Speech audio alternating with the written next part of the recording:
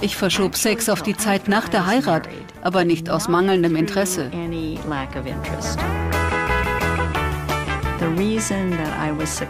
Ich hielt durch, weil ich große Angst hatte, schwanger zu werden, bevor ich verheiratet war. Eine meiner Zimmergenossinnen sagte, wenn die Bombe käme, was würdest du tun? Und wir dachten an so etwas wie, ich würde mit jemandem schlafen. Es war so ein geheimnisvolles Etwas, von dem wir alle wissen sollten. Aber wir hatten keine Möglichkeit, etwas darüber zu erfahren. Männer erwarteten, dass etwas Magisches passieren würde, um dieses wunderbare, was auch immer, auszulösen. Und wenn es nicht passierte, war jeder verwirrt. Uns wurde beigebracht, dankbar zu sein, dass er uns ausgewählt hatte. Für eine Frau war es unerhört, einen Mann zu bitten, ein Kondom zu benutzen.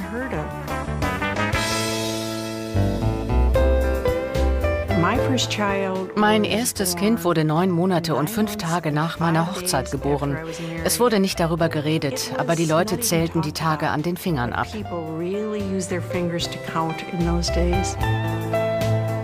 Das war sicher hart für meine Mutter. Nicht, dass auch sie glaubte, ich sei schon vor der Heirat schwanger geworden, aber es war dieses, was sollen die Nachbarn denken?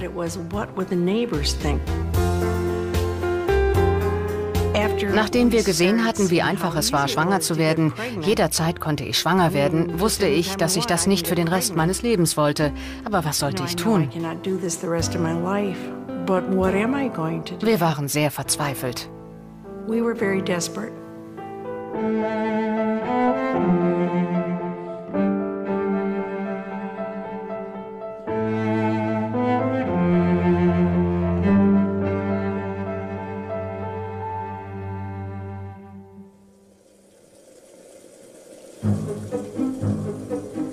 Die 50er Jahre bringen technischen Fortschritt und medizinische Wunder.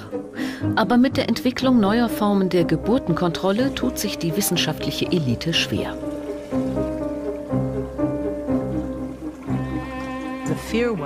Man fürchtete, durch die bloße Verfügbarkeit von Verhütungsmitteln würden sexuelle Kontakte zunehmen. Promiskuität wäre die Folge. Manche Leute sagten, Schwangerschaft sei die einzige Bremse menschlicher Lust.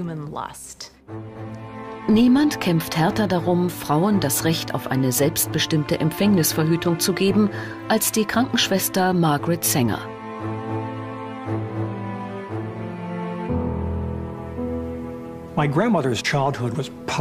Die Kindheit meiner Großmutter war von Armut und Leid geprägt. Sie wuchs in einer Welt auf, in der ihre Mutter 18 Mal schwanger war, elf Kinder und sieben Fehlgeburten hatte und mit 49 starb. Das war im Amerika des 19. Jahrhunderts nicht ungewöhnlich. Sanger beginnt ihren Kampf mit der Herausforderung der sogenannten Comstock Laws. Gesetze, die den Verkauf von Verhütungsmitteln und die Verbreitung von Informationen über Geburtenkontrolle unter Strafe stellen. I bumped up against this very, very arrogant, old-fashioned, stupid law, which had to be changed, but it was going to take a long time to change it. And I decided the best way to change it was to break it. Dafür ging sie mehrfach ins Gefängnis, brach jedes geschriebene Gesetz, nahm sich die Regierung vor, die Mediziner, die religiösen Institutionen dieses Landes, die Männer. Diejenigen, die sie unterstützten, waren die Frauen, die verzweifelt auf diese Informationen warteten.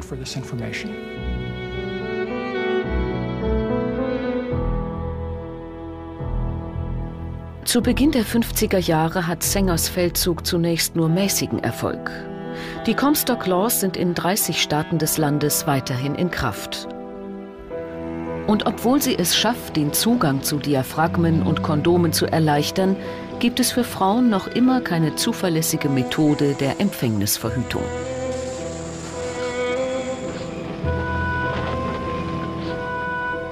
Sänger träumt von einer einfachen Pille. Inzwischen 71 Jahre alt, beginnt sie mit der Suche nach einem Wissenschaftler, der bereit ist, sich gegen Gesellschaft und Gesetz zu stellen. Sie findet ihn in einem Labor in Shrewsbury, Massachusetts.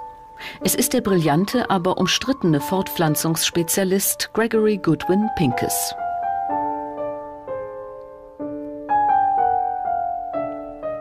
Der junge Wissenschaftler gilt in Harvard als vielversprechendes Talent.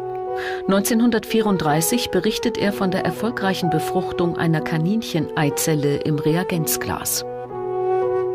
Die Presse behandelte Pinkes Erfolg nicht sehr schmeichelhaft. Sie waren besorgt über die Möglichkeit, menschliche Bausteine zu reproduzieren.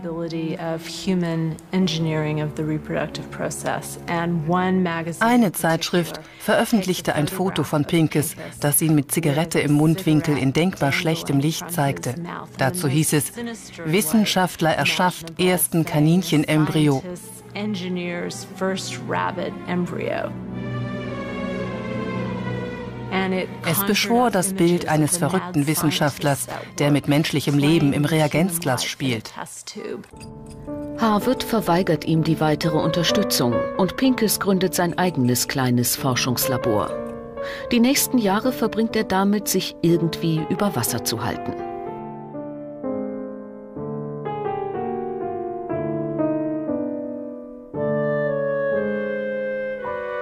1951 scheint die Lage für Pincus hoffnungslos. Seine Forschung über Hormone liefert kaum Resultate. Sein Auftraggeber, das pharmazeutische Unternehmen GD Seal, entzieht ihm die Finanzierung und bezeichnet Pincus als bedauernswerten Versager.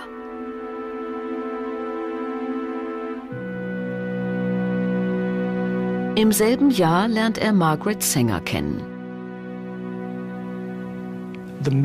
Das Treffen mit Gregory Pincus war für meine Großmutter die Offenbarung. Es muss absolut überwältigend gewesen sein, endlich einen Wissenschaftler gefunden zu haben, der sich in den Grundlagen der Fortpflanzungsmedizin auskannte. Pincus erklärte ihr, dass Hormone der Schlüssel zu einer Verhütungspille seien. Aber die Forschung würde weitaus mehr als die paar tausend Dollar kosten, die sie zur Verfügung hatte. Ohne Millionen, sagte er, würde die Pille nur ein Traum bleiben.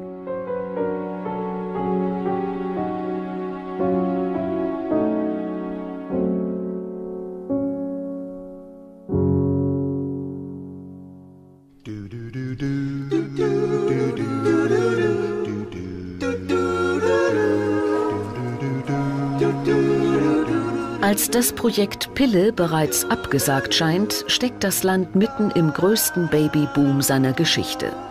Die meisten Frauen heiraten mit 19 und mehr als die Hälfte ist innerhalb der ersten sieben Monate schwanger.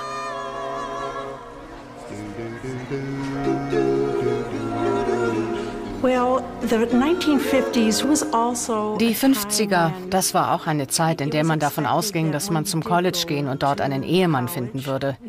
Und es hieß dann, womit wirst du abschließen? Und man hoffte, dass es Frau Doktor sein würde.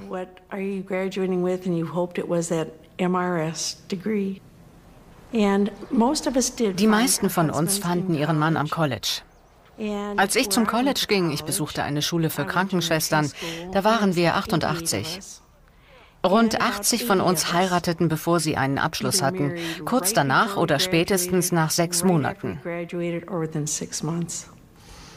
Und wenn man zurückblickt, dann war es nicht der Auserwählte, sondern derjenige, der gerade da war.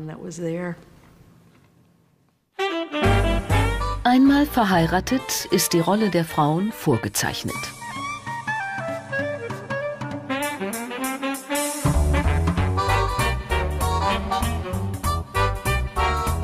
Enchanting entries in the Mrs. America race not only look swell, they cook well, and they sew, darn it, and they mop, and peel potatoes, and tend to other chores. When I was a Miss, there was nothing cooking. Now that I'm Mrs. America, I'm really cooking. In the 1950s, in den 50er Jahren erwartete man absolute Zurückhaltung. Necken und ein bisschen Rumgetue, aber keinen Geschlechtsverkehr. Um dann plötzlich erfüllten, wunderbaren Sex mit seinem Ehemann zu haben.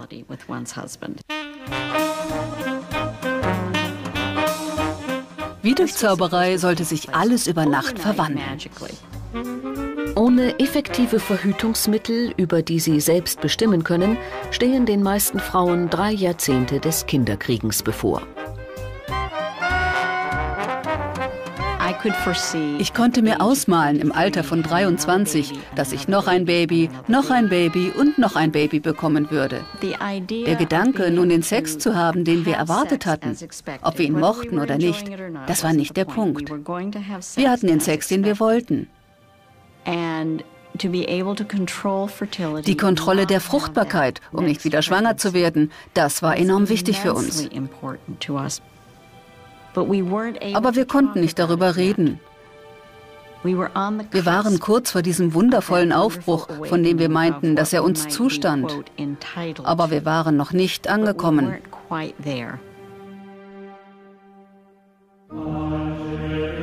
Katholische Frauen stürzt das Thema Geburtenkontrolle in eine Glaubenskrise. Die protestantischen Kirchen haben schon in den 30er Jahren begonnen, ihre Haltung zur Geburtenkontrolle zu lockern, nicht aber die katholische Kirche.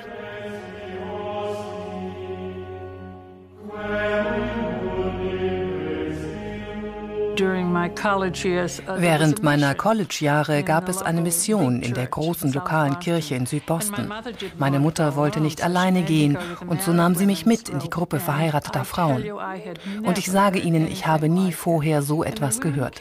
Die Frauen kamen und die Priester sagten ihnen, wenn sie Geburtenkontrolle betrieben, würden die Gesichter der ungeborenen Kinder sie auf dem Totenbett heimsuchen. Und sie würden ewig in der Hölle schmoren. Es klingt unglaublich, dass so etwas wirklich gesagt wurde, aber es war so. Der Effekt dieser Strafpredigt, dieser wochenlangen Tiraden, wir hatten innerhalb eines Jahres fünf Neugeborene in unserem Haus. Offen gestanden, das effektivste Druckmittel in den 50er Jahren war die legendäre Mrs. Murphy oder Mrs. O'Shaughnessy oder Mrs. Kropnik aus deiner Kirchengemeinde, die Sonntagmorgens mit ihren zehn Kindern kam, wie die Orgelpfeifen. Das älteste war zwölf und das jüngste war noch ein Baby. Sie waren hübsch angezogen und benahmen sich ordentlich. Sie saßen in der Messe in der ersten Reihe und schienen dem Gottesdienst aufmerksamer und ehrfürchtiger zuzuhören als deine Kinder. Und sie sah großartig aus. Sie war schlank und gelassen. Ihr Ehemann schien der Inbegriff eines vertrauenswürdigen Familienoberhauptes zu sein. Und wenn sie das konnte, warum nicht du? Honey, uh, now that we've had this baseball team, uh, what do you say about a football team? No, no. Und es ist ja in mancherlei Hinsicht ein attraktiver Lebensentwurf. Aber ich denke, in der Realität war es für viele Paare eine echte Überforderung. In Massachusetts und Connecticut, beides Staaten mit einem hohen Anteil Katholiken, ist die Verwendung von Verhütungsmitteln sogar gesetzlich verboten und wird mit Geldstrafen oder Gefängnis geahndet. Was war erlaubt in Connecticut in Sachen Verhütung? Die Antwort lautet null, nichts. Das mag Sie schockieren, aber stattdessen entfernten wir die Gebärmutter. Wir machten es kurz nach der Niederkunft, sechs, sieben Wochen nach der Geburt. Wenn man bei jemandem die Gebärmutter vaginal entfernt, der bereits drei oder vier Kinder bekommen hat, dann hat man nur zwei Möglichkeiten. Entweder man ist schneller als der Teufel oder man kann gleich eine Blutbank knacken, weil der Blutverlust unglaublich hoch ist. Es war altertümlich, absolut altertümlich. Wenn man es sportlich sieht, dann waren wir froh, eine Möglichkeit zum Operieren zu haben. Aber unsere armen Patientinnen litten schrecklich. Das Risiko, das wir eingingen, war nicht vernünftig und völlig inakzeptabel.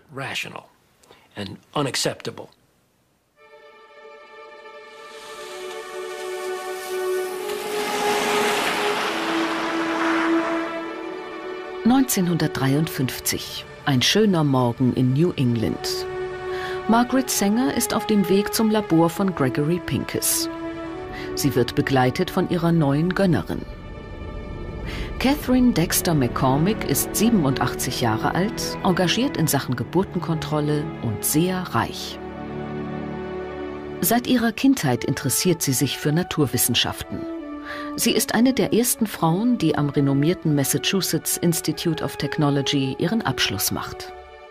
McCormick machte einen Abschluss als Biologin, was zu jener Zeit für Frauen eine absolute Ausnahme war. Ich denke, ihr wissenschaftlicher Hintergrund weckte in ihr das Interesse an einer wissenschaftlichen Antwort auf das Leid der Frauen. Mit 29 heiratet Catherine den Fabrikantensohn Stanley McCormick, Erbe des riesigen Vermögens der International Harvester Company. Kurz nach ihrer Heirat wird bei Stanley Schizophrenie diagnostiziert.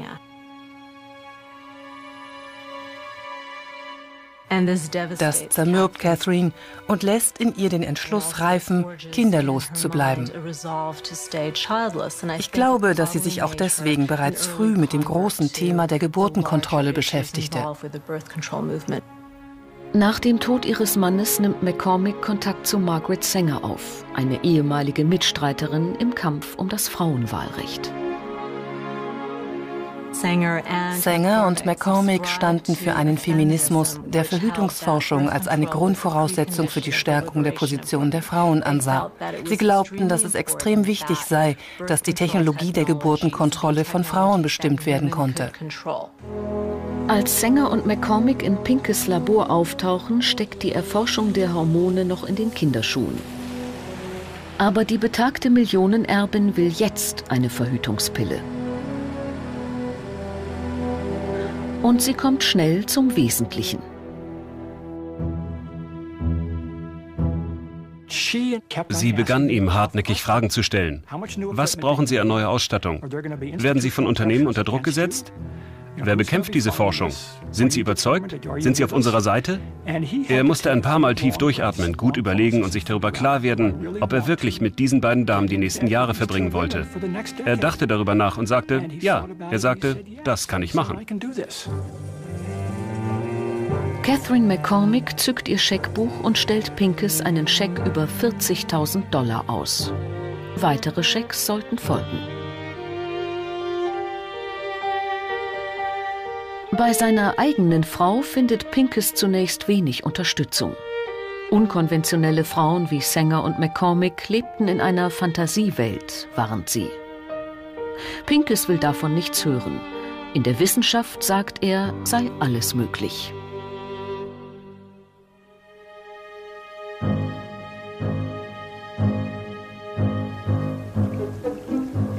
Mit McCormicks Unterstützung baut Pinkes ein Labor, in dem er seine Hormontheorie in der Praxis testen kann. Er injiziert Versuchstieren wiederholt das Hormon Progesteron, in der Hoffnung, damit den Eisprung zu stoppen. Monate später hat er Erfolg.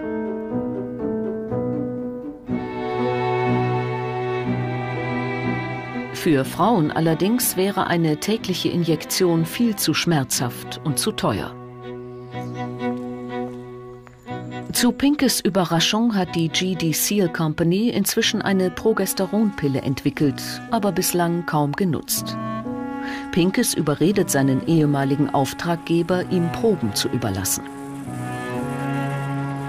Doch es gilt noch eine weitere Hürde zu meistern.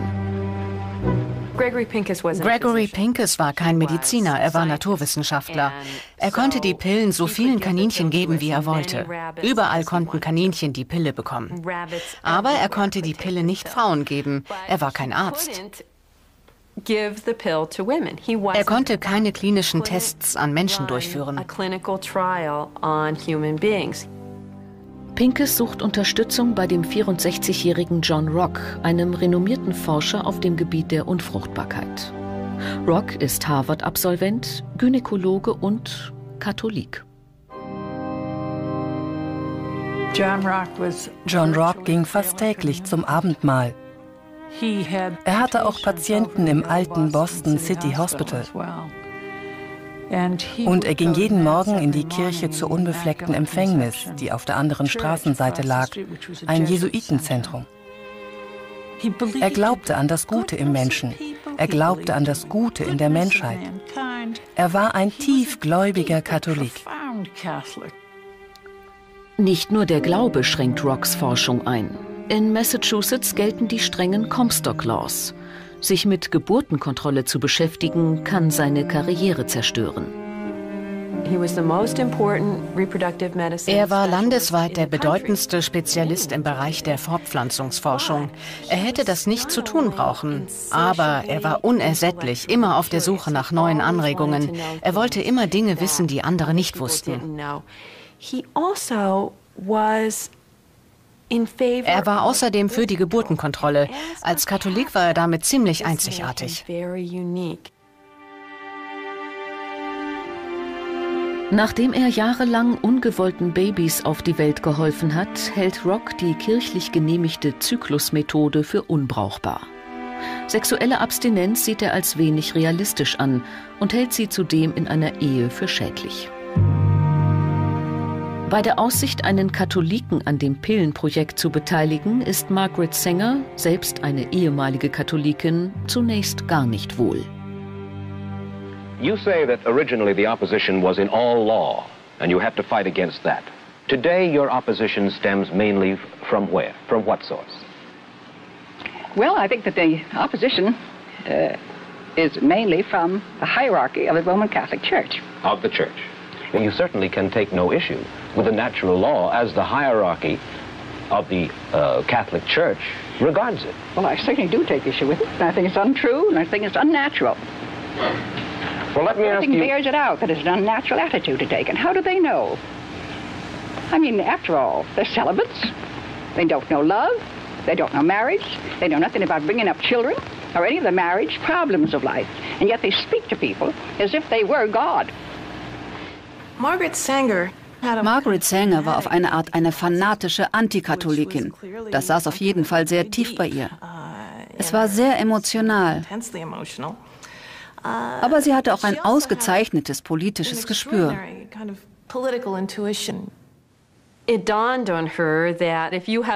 Ihr wurde klar, dass man mit einem Katholiken, der orale Verhütungsmittel propagiert, noch dazu ein ziemlich prominenter Katholik, dass man dann eine größere öffentliche Akzeptanz unter Katholiken erhält, als wenn man als Verfechterin der Geburtenkontrolle daherkommt.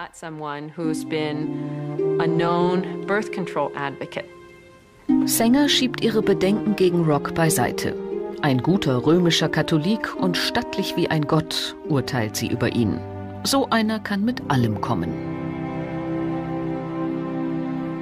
Im Winter 1954 stimmt Rock zu, Seals Pille unter dem Deckmantel einer Fruchtbarkeitsstudie an 50 Frauen zu testen.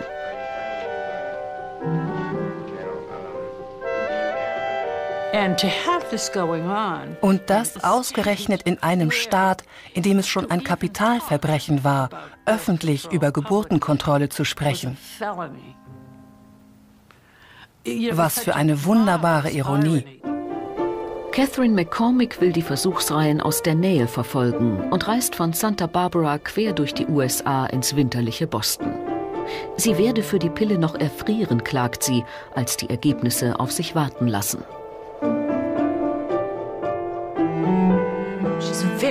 Sie war sehr ungeduldig wegen dieser Pille, die sie in einem ihrer Briefe an Gregory Pincus ein wunderbares Werkzeug nannte. Sie wartete ungeduldig auf ihre Entwicklung. Endlich gibt es die ersehnten Informationen. Bei keiner der 50 Frauen kommt es während der Einnahme der Pille zum Eisprung.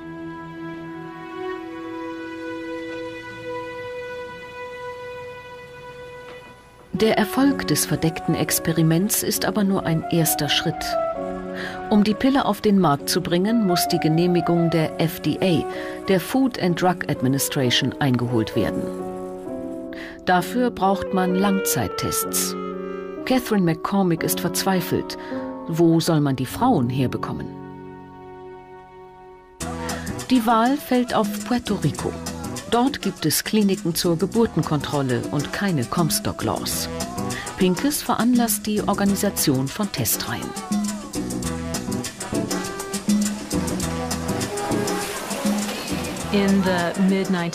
Mitte der 50er Jahre ist Puerto Rico eines der Länder mit der höchsten Bevölkerungsdichte weltweit. Für die Entwickler der Pille ist es von enormer Bedeutung, sagen zu können, seht her, es funktioniert in Puerto Rico, wo die Bevölkerung ungebildet und arm ist. Wenn es hier funktioniert, dann kann es überall funktionieren. GD Seal ist bereit, die Pille zur Verfügung zu stellen. Und die Gesundheitsbehörde in Puerto Rico fühlt sich geehrt, an diesem Experiment teilnehmen zu dürfen. In den frühen 50er Jahren sah man in Puerto Rico jedes Experiment als etwas Wegweisendes, Innovatives und Wunderbares an. Außerdem befand sich der Inselstaat mitten in der Industrialisierung und es gab eine Menge Jobs für Frauen in all diesen neuen Fabriken. Frauen hatten auf einmal die Möglichkeit, außerhalb des Hauses zu arbeiten und damit wurden Kinder etwas, womit man sich beschäftigen musste. Die erste groß angelegte Testreihe der Verhütungspille findet im April 1956 in Rio Piedras statt, einem neuen Wohnungsbauprojekt. Obwohl Puerto Rico überwiegend katholisch ist, sind viele Frauen bereit, daran teilzunehmen. Die Lehre war das eine, Verhalten etwas anderes. Für die meisten Frauen, die sich um ihre Gesundheit kümmern mussten, sich um ihre Familien kümmern mussten, die sich Tag für Tag durchkämpfen mussten, war die Tatsache, dass das nicht mit der Lehre der Kirche übereinstimmte, ziemlich unwichtig. Die Frauen bekommen 10 Milligramm Progesteron, um den Eisprung zu verhindern. Zusätzlich erhalten sie eine kleinere Dosis Östrogene, um die Nebenwirkungen zu dämpfen. Schon die Ärzte wissen wenig darüber, die Freiwilligen wissen gar nichts. Eine bewusste Zustimmung, wie wir sie heute kennen, gab es in den 50ern nicht. Versuche waren weitaus weniger streng geregelt als heute. Ein gutes Beispiel dafür ist die Polio-Impfung. Denken Sie daran, dass rund zwei Millionen Schulkinder ausgewählt wurden, um herauszufinden, ob dieser noch weitgehend unbekannte Impfstoff gegen Polio wirkt oder nicht. Die Menschen waren sehr empfänglich für die Medizin und ihre Produkte und sie nahmen bereitwillig an Testprogrammen teil, um zu sehen, ob etwas wirkte oder nicht. Im Laufe der Tests klagen einige der Frauen über Übelkeit, Schwindelgefühl, Kopf- und Bauchschmerzen und Erbrechen. Nach neun Monaten Testphase berichtet die medizinische Direktorin in Puerto Rico an Pinkes, dass die Pille 100%ig wirkt, wenn sie regelmäßig eingenommen wird.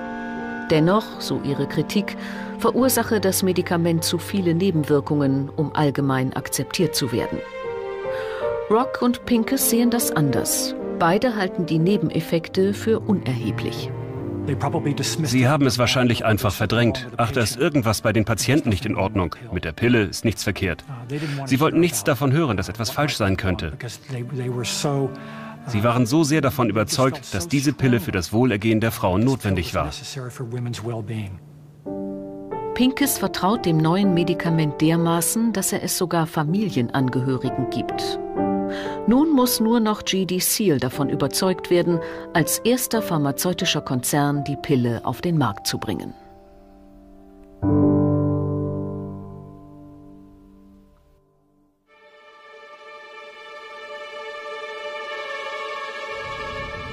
Für Seal, ein kleines, aufstrebendes Pharmaunternehmen, ist es verlockend, eine Verhütungspille auf den Markt zu bringen, aber auch riskant. In den 50er Jahren waren rund 25 Prozent der Amerikaner katholisch. Die Pharmaunternehmen fürchteten, dass die Katholiken nicht nur die Verhütungspille ablehnen, sondern auch alle anderen Produkte boykottieren würden, die von dem Unternehmen hergestellt wurden. 1957 wagt Ziel einen spektakulären Schritt und bringt die Pille unter dem Namen Enovit als Medikament gegen Menstruationsbeschwerden auf den Markt. In den nächsten zwei Jahren erhalten rund 500.000 Frauen ein Rezept für das neue Präparat. Damit war die Katze aus dem Sack. Über Nacht bekamen mehr Frauen Menstruationsbeschwerden, als man sich vorstellen konnte. Ich meine, die Pille wurde für alles verschrieben, weil jeder wusste, dass der tatsächliche Effekt die Empfängnisverhütung war. Für Seal wird die Pille vom Imageproblem zum Kassenschlager, mit dem sich viel Geld verdienen lässt. Stellen Sie sich eine Pille vor, die nichts mit Krankheit zu tun hat, nichts mit Therapie, kein Medikament, das man nur ein- oder zweimal einnimmt, sondern die nächsten 20 Jahre schluckt. Denken Sie an den Markt. Der Vorstand von Seal schreibt an Pinkes, wir spüren einen Aufwind, der unsere Hoffnung auf Zulassung durch die US-Arzneimittelbehörde beflügelt. Am 11. Mai 1960, sieben Jahre nachdem Gregory Pincus den ersten Scheck von Catherine McCormick erhalten hat, erteilt die amerikanische Food and Drug Administration der Verhütungspille die Zulassung. Zum allerersten Mal hatten Frauen die Freiheit, Sex zu genießen, ohne dass ihnen eine Schwangerschaft drohte. Sie mussten nicht im Dunkel der Nacht, wie eine Frau sagte, barfuß über das eiskalte Linoleum ins Badezimmer schleichen, um das Diaphragma zu holen. Frauen waren zum allerersten Mal sexuell so frei wie Männer. Es war überwältigend, als die Pille zugelassen wurde. Die Hersteller konnten gar nicht genug produzieren. Es war absolut erstaunlich. Innerhalb eines Jahres nahmen rund eine Million Frauen die Pille. Das ist eine phänomenale Steigerungsrate, zumal es keine Form von Werbung gab und es ein verschreibungspflichtiges Medikament war. Es war modern, die Pille zu nehmen. Und das verbreitete sich unter den Frauen im ganzen Land sehr schnell. In wenigen Jahren schien die Hälfte der Frauen im gebärfähigen Alter die Pille zu nehmen.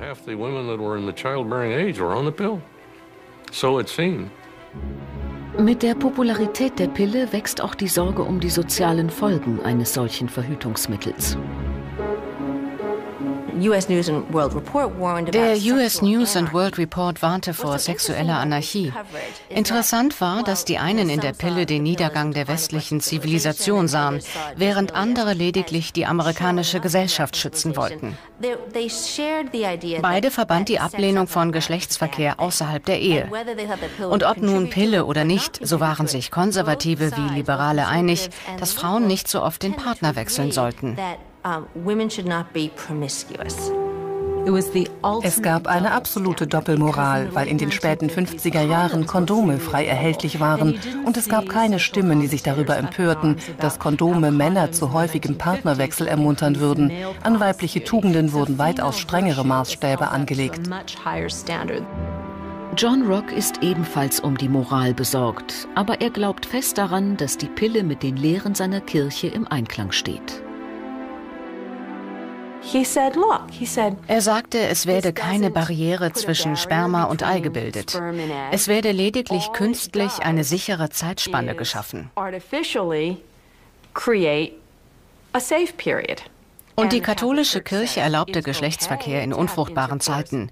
Wenn man eine Pille nahm, die einem eine unfruchtbare Periode garantierte, was machte das für einen Unterschied?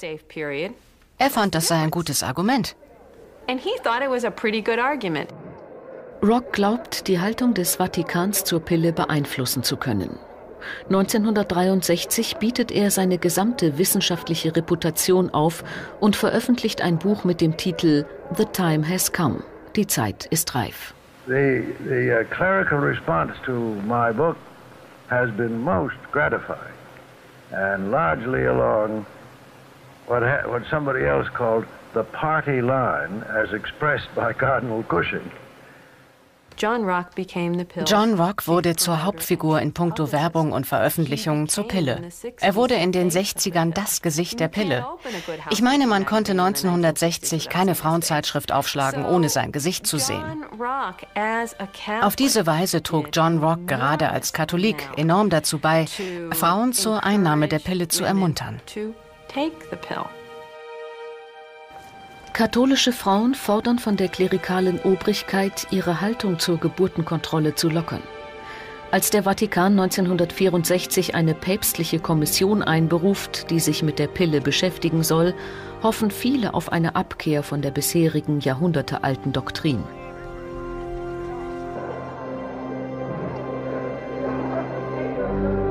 Die Haltung der Kirche kann sich ändern, zum Beispiel beim Fleischessen am Freitag.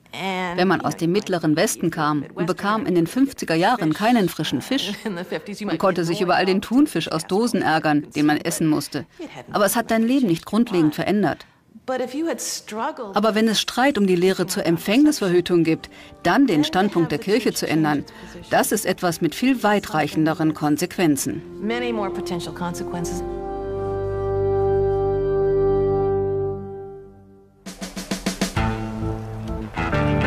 1965 nehmen bereits mehr als sechs Millionen Frauen die Pille. Die amerikanische Gesellschaft ist im Umbruch.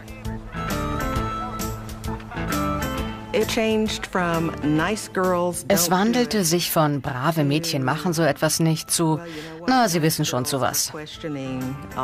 Brave Mädchen fragen viel, was brave Mädchen tun oder lassen. Und jetzt gab es ein großes Erwachen. Ich fühlte mich, als ob ich alles sein konnte. Ich konnte ein sexuelles Wesen sein. Ich konnte ein braves Mädchen sein. Ich konnte eine Frau mit Zukunft sein. Man konnte mit etwas rechnen, was zu 100 Prozent zuverlässig war. Und das bedeutete eine wirkliche Veränderung hin zu, wie es die Menschen im Geschäftsleben nannten, einer Verhütungsmentalität. Einer Mentalität, die davon ausgeht, dass Menschen ihre Fortpflanzung planen.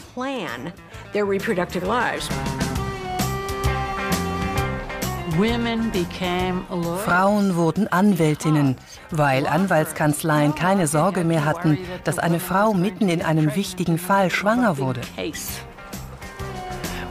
Frauen wurden Ärztinnen, weil sie ihre Kinder so planen konnten, dass sie Zeit hatten, Praktika und ihre Assistenzzeit zu machen. Frauen gingen zur Arbeit. Als Frauen damit anfingen, hieß es, wow, es war absolut toll. Woher nahmen sie den Mut? Und es schien sie nicht zu stören, ob sie einen Freund hatten oder nicht.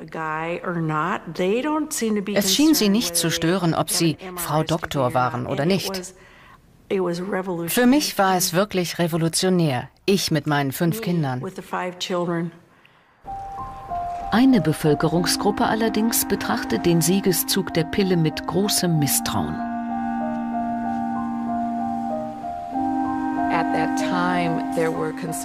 Die schwarze Bevölkerung hatte große Sorge, dass Geburtenplanung, insbesondere Geburtenplanung in von Weißen dominierten Krankenhäusern, eine Form von rassistisch motiviertem Völkermord sei. Im Süden wurden Frauen derart häufig sterilisiert, dass die Schwarzen bereits von einer Mississippi-Blinddarm-Operation sprachen. Und es war allgemein bekannt, dass schwarze Frauen zur Sterilisation gedrängt oder sogar gegen ihren Willen sterilisiert wurden. Vor diesem Hintergrund musste die schwarze Bevölkerung die Pille als Kontrollinstrument sehen. Eine afroamerikanische Tageszeitung fragt, warum können Schwarze keine medizinische Grundversorgung bekommen wie kostenloses Aspirin, stattdessen aber eine Wagenladung voll kostenloser Verhütungspillen. Militante Black Power-Gruppen setzen Geburtenkontrolle mit Völkermord gleich und fordern schwarze Frauen auf, ihre Pillen wegzuwerfen. Schwarze Frauen antworteten, dass sie die Gründe für die Besorgnis verstünden, aber dass schwarze Frauen ihre Entscheidung selbst zu treffen hätten.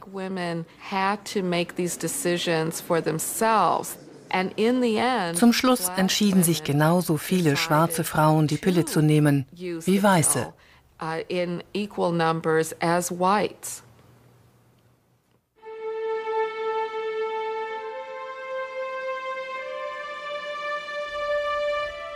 Im September 1966 stirbt Margaret Singer, kurz vor ihrem 87. Geburtstag. Für sie hat sich zuvor mit dem Ende der verhassten Comstock Laws ein Lebenstraum erfüllt.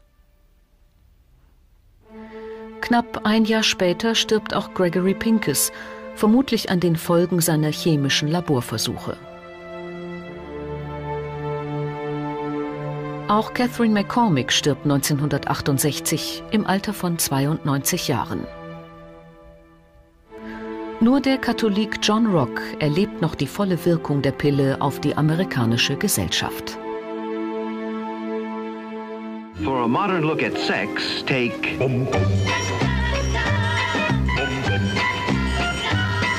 Nur eine Generation zuvor war das Thema Geburtenkontrolle in der Öffentlichkeit noch undenkbar. 1968 wird die Pille zum Hollywood-Star.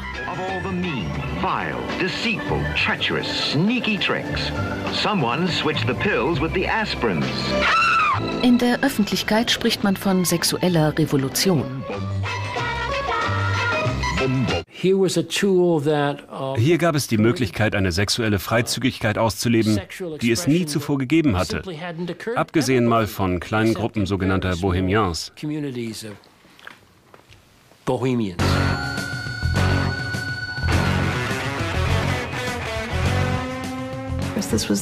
Das war natürlich ein goldenes Zeitalter. Geschlechtskrankheiten schienen bekämpft und niemand hatte je von AIDS gehört. Diese Verwegenheit, Kühnheit hing sicher mit der Pille zusammen und dem Vertrauen, dass nichts schiefgehen konnte.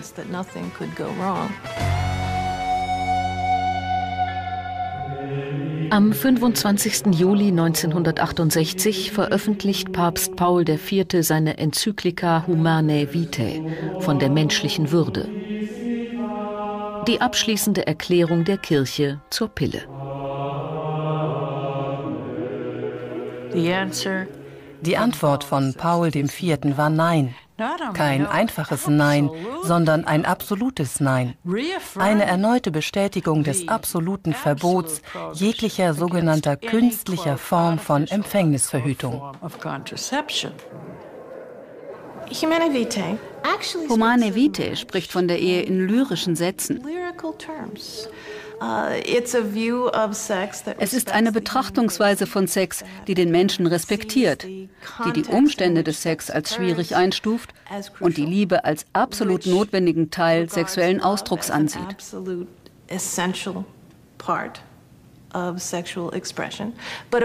Aber natürlich begrenzt sie Sex auf die Ehe und verbindet ihn damit unweigerlich mit der Zeugung. Rock kann seine Enttäuschung über die Entscheidung des Vatikans kaum verbergen. Die Kirchenführung hat einen großen Fehler gemacht, lautet sein knapper Kommentar. John Rock ist am Boden zerstört. Er findet es schwer, wirklich schwer zu glauben, dass seine Kirche so unklug, wie er es sah, reagieren konnte.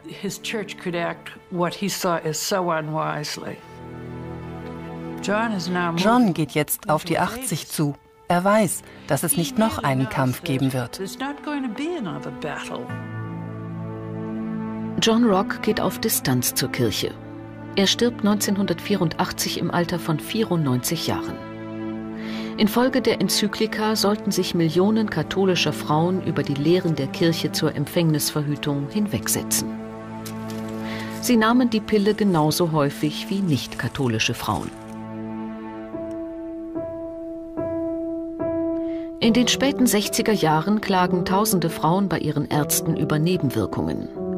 Es sind die gleichen Probleme, mit denen Pinkes und Rock bereits in Puerto Rico zu tun hatten. Ich bekam Migräneanfälle, wirklich teuflische Kopfschmerzen. Und ich bat meinen Hausarzt zweimal, mich von der Pille zu befreien und mir andere Wege der Empfängnisverhütung zu zeigen. Und beide Male ließ ich es mir von ihm ausreden. Das Motto war, zerbrich dir nicht deinen kleinen hübschen Kopf, deswegen überlass dem Arzt, sich darum zu kümmern. Es war die Zeit, in der ein männlicher Gynäkologe über die weiblichen Patientinnen bestimmte, ohne Frage. Wir waren Vaterfiguren. Man hat uns beigebracht, Vaterfiguren zu sein. Wir wurden nicht in Frage gestellt. Unser Urteil in Sachen Empfängnis wurde nie in Frage gestellt. Die Ärzte vertrauen den Auskünften der Pharmaunternehmen und der nationalen Aufsichtsbehörde und beide versichern, dass die Pille unbedenklich sei. Der Arzt war blind, der Patient war blind und der Arzt war außerdem noch taub und stumm. Man hatte 15 Millionen Frauen, die anfangs nicht krank waren. Man gab ihnen die Pille und auf einmal waren sie krank. Nicht alle, aber viele. Das war ein neues Spiel. In Puerto Rico waren drei Frauen gestorben, die an den Testreihen teilgenommen hatten. Sie wurden nie untersucht, die Todesursache blieb unbekannt. Jetzt machen finstere Gerüchte in Medizinerkreisen die Runde. The pill could kill. Die Pille kann töten.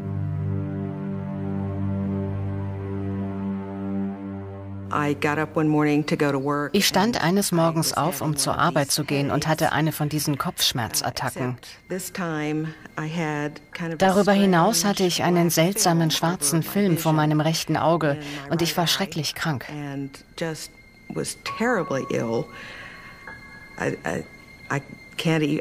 Ich kann das Gefühl gar nicht beschreiben. Es war wie eine Welle der Angst, die über mich hinwegrollte.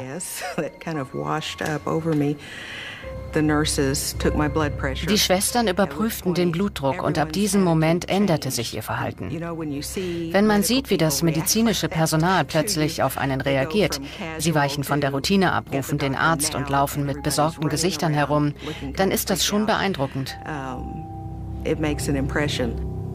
Uh, das Ende vom Lied war, dass sie vermuteten, ich hätte einen Schlaganfall. Das war tatsächlich die Diagnose. Ich erinnerte mich gelesen zu haben, dass einige Frauen gestorben waren. Sie hatten Schlaganfälle. Aber ich wollte unbedingt glauben, dass es nicht die Verhütungspille war, dass es an etwas anderem gelegen hatte. Es konnte einfach nicht die Verhütungspille sein. Auch weil ich davon überzeugt war, dass sie nicht etwas verschreiben würden, was uns schaden könnte. 1969 reißt ein schonungsloses Aufklärungswerk die Mediziner unsanft aus ihrer Selbstgefälligkeit. Wir waren ausgesperrt. Man hatte uns erzählt, dass wir von der modernen Wissenschaft dieses wunderbare Geschenk bekommen hätten, das unser Leben so viel besser machen würde. Aber es gab eine ziemlich dunkle Seite. Und die dunkle Seite wurde versteckt und geleugnet. Eine Menge gesunder junger Frauen starb oder blieb verkrüppelt. Wir konnten das nicht ignorieren. Siemens Buch erregt die Aufmerksamkeit des US-Senators Gaylord Nelson. Er organisiert eine Anhörung. Im Januar 1970 werden Experten nach Washington bestellt. Zur Aussage sind nur Männer geladen. Da war ich, der alte Phil Ball, ein einfacher Arzt aus Muncie, Indiana, und wir gingen in die Landeshauptstadt. Wir gingen zu den Anhörungen und fanden den Weg in diesen Senatsraum. Es war ein großer Saal voller Menschen. Und ich erzählte, dass ich es bei meiner Arbeit plötzlich mit all diesen jungen Frauen zu tun bekam, die die Pille nahmen und all diese Probleme hatten. Even though I have not prescribed the medication in some years, a procession of symptomatically unhappy women taking birth control pills continues to flow into my office. Denken Sie daran, dass die Dosierung der Pille in jenen Tagen zehnmal höher war als heute. Es war ein echter Hammer, diese Pille. Man benutzte einen Vorschlaghammer für einen kleinen Nagel. Es war eine unnötige Dosierung. In der Senatskammer sitzt an diesem Tag eine Gruppe junger Feministinnen, die ebenfalls die Pille genommen hatten. Wir hörten Wissenschaftler nach Wissenschaftler, einen Mann nach dem anderen, die etwas über die Pille erzählten. Und dann sagte ein Arzt, Dünger sei für Weizen wie Östrogen für Krebs. An diesem Punkt sind wir fast tot umgefallen. Wir waren so schockiert.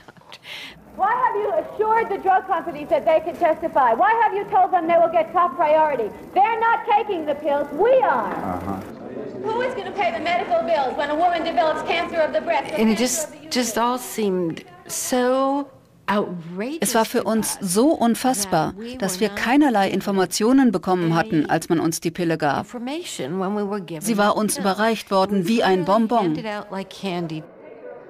We are not going to sit quietly any longer. You are murdering us. For your profit and convenience. I'm not going to permit the uh, proceedings to be interrupted in this way. If you ladies would uh, Our lives down. have been interrupted by taking this pill. We're conducting... I don't think the hearings are any more important than our lives.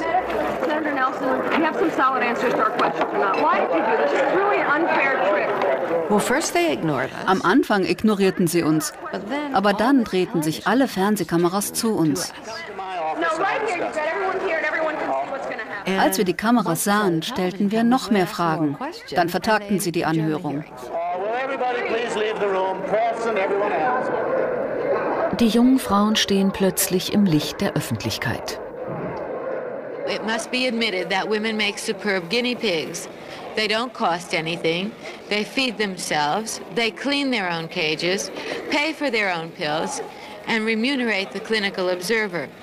We will no longer tolerate intimidation by white-coated gods antiseptically directing our lives. Sie kamen Tag für Tag wieder und sie wurden zur eigentlichen Geschichte. Die Störungen während der Sitzungen. Es war die Boston Tea Party der Frauengesundheitsbewegung. Bei den Anhörungen kam heraus, dass Frauen mehr Kontrolle über ihre Körper erhielten. Infolge der Proteste wird der Hormongehalt der Pille gesenkt, wodurch deutlich weniger Nebenwirkungen auftreten. Die Unternehmen müssen Informationszettel mit möglichen Risiken jeder Pillenpackung beilegen.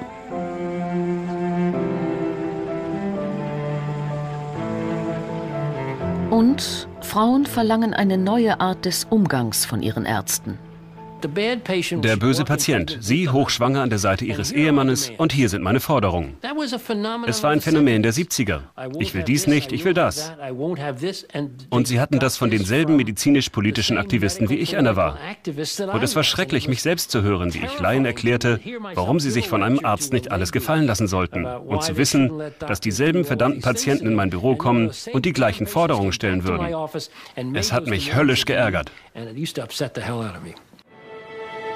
Mit der Pille wächst eine Generation von Aktivistinnen heran. Nicht nur in den Arztpraxen, auch auf den Straßen, in den Betten, in der Gesellschaft.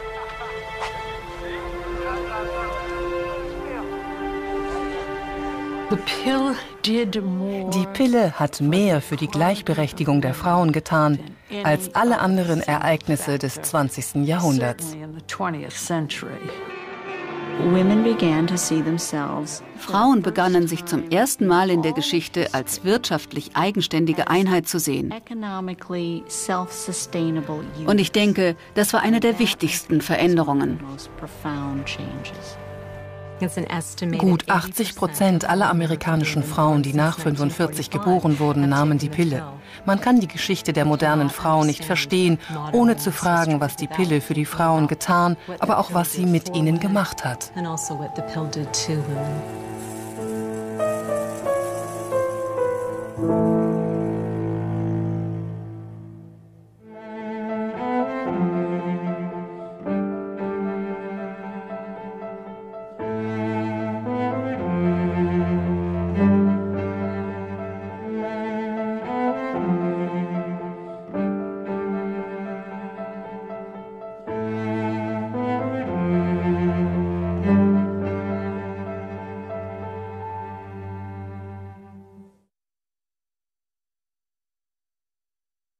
Ein Traum bleiben.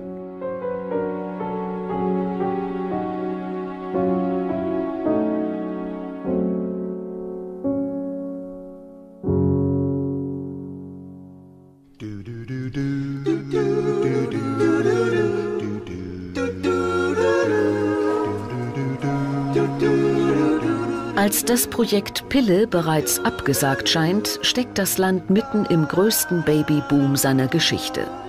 Die meisten Frauen heiraten mit 19 und mehr als die Hälfte ist innerhalb der ersten sieben Monate schwanger.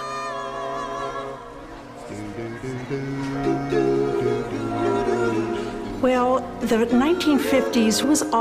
die 50er, das war auch eine Zeit, in der man davon ausging, dass man zum College gehen und dort einen Ehemann finden würde. Und es hieß dann, womit wirst du abschließen? Und man hoffte, dass es Frau Doktor sein würde.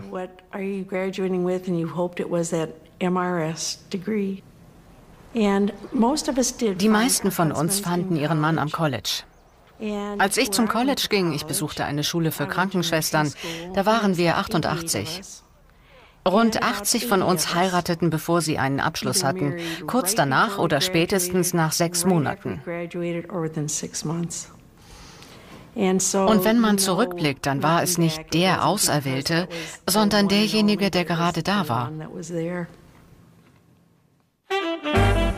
Einmal verheiratet ist die Rolle der Frauen vorgezeichnet.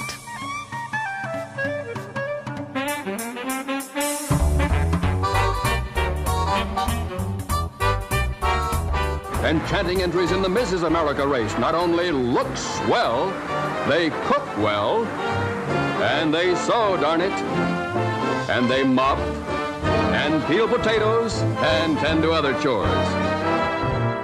When I was in this, there was nothing cooking. Now that I'm Mrs. America, I'm really cooking. In the 1950s, in den 50er Jahren erwartete man absolute Zurückhaltung. Necken und ein bisschen Rumgetue, aber keinen Geschlechtsverkehr. Um dann plötzlich erfüllten, wunderbaren Sex mit seinem Ehemann zu haben.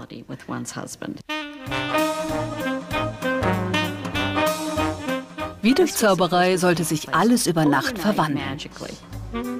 Ohne effektive Verhütungsmittel, über die sie selbst bestimmen können, stehen den meisten Frauen drei Jahrzehnte des Kinderkriegens bevor.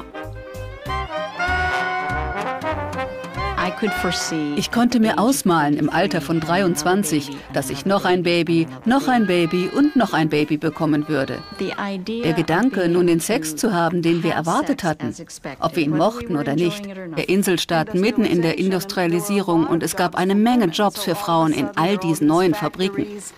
Frauen hatten auf einmal die Möglichkeit, außerhalb des Hauses zu arbeiten und damit wurden Kinder etwas, womit man sich beschäftigen musste. Die erste groß angelegte Testreihe der Verhütungspille findet im April 1956 in Rio Piedras statt, einem neuen Wohnungsbauprojekt. Obwohl Puerto Rico überwiegend katholisch ist, sind viele Frauen bereit, daran teilzunehmen. Die Lehre war das eine, Verhalten etwas anderes. Für die meisten Frauen, die sich um ihre Gesundheit kümmern mussten, sich um ihre Familien kümmern mussten, die sich Tag für Tag durchkämpfen mussten, war die Tatsache, dass das nicht mit der Lehre der Kirche übereinstimmte, ziemlich unwichtig. Die Frauen bekommen 10 Milligramm Progesteron, um den Eisprung zu verhindern. Zusätzlich erhalten sie eine kleinere Dosis Östrogene, um die Nebenwirkungen zu dämpfen. Schon die Ärzte wissen wenig darüber, die Freiwilligen wissen gar nichts. Eine bewusste Zustimmung, wie wir sie heute kennen, gab es in den 50ern nicht. Versuche waren weitaus weniger streng geregelt als heute. Ein gutes Beispiel dafür ist die Polio-Impfung. Denken Sie daran, dass rund zwei Millionen Schulkinder ausgewählt wurden, um herauszufinden, ob dieser noch weitgehend unbekannte Impfstoff gegen Polio wirkt oder nicht. Die Menschen waren sehr empfänglich für die Medizin und ihre Produkte und sie nahmen bereitwillig an Testprogrammen teil, um zu sehen, ob etwas wirkte oder nicht. Im Laufe der Tests klagen einige der Frauen über Übelkeit, Schwindelgefühl, Kopf- und Bauchschmerzen und Erbrechen. Nach neun Monaten Testphase berichtet die medizinische Direktorin in Puerto Rico an Pinkes, dass die Pille 100%ig wirkt, wenn sie regelmäßig eingenommen wird. Dennoch, so ihre Kritik, verursache das Medikament zu viele Nebenwirkungen, um allgemein akzeptiert zu werden. Rock und Pinkes sehen das anders. Beide halten die Nebeneffekte für unerheblich.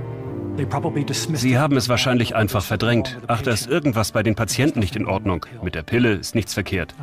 Sie wollten nichts davon hören, dass etwas falsch sein könnte. Sie waren so sehr davon überzeugt, dass diese Pille für das Wohlergehen der Frauen notwendig war.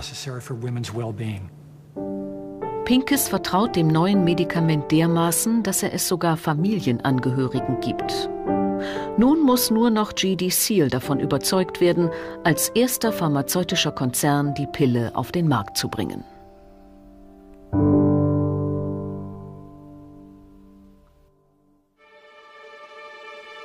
Auch die Sorge um die sozialen Folgen eines solchen Verhütungsmittels.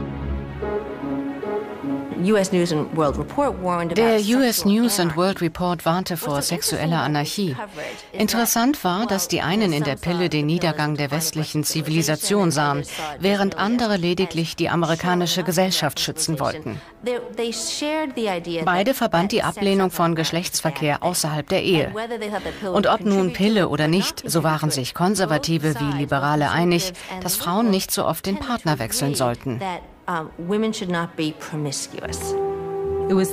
Es gab eine absolute Doppelmoral, weil in den späten 50er Jahren Kondome frei erhältlich waren und es gab keine Stimmen, die sich darüber empörten, dass Kondome Männer zu häufigem Partnerwechsel ermuntern würden. An weibliche Tugenden wurden weitaus strengere Maßstäbe angelegt. John Rock ist ebenfalls um die Moral besorgt, aber er glaubt fest daran, dass die Pille mit den Lehren seiner Kirche im Einklang steht.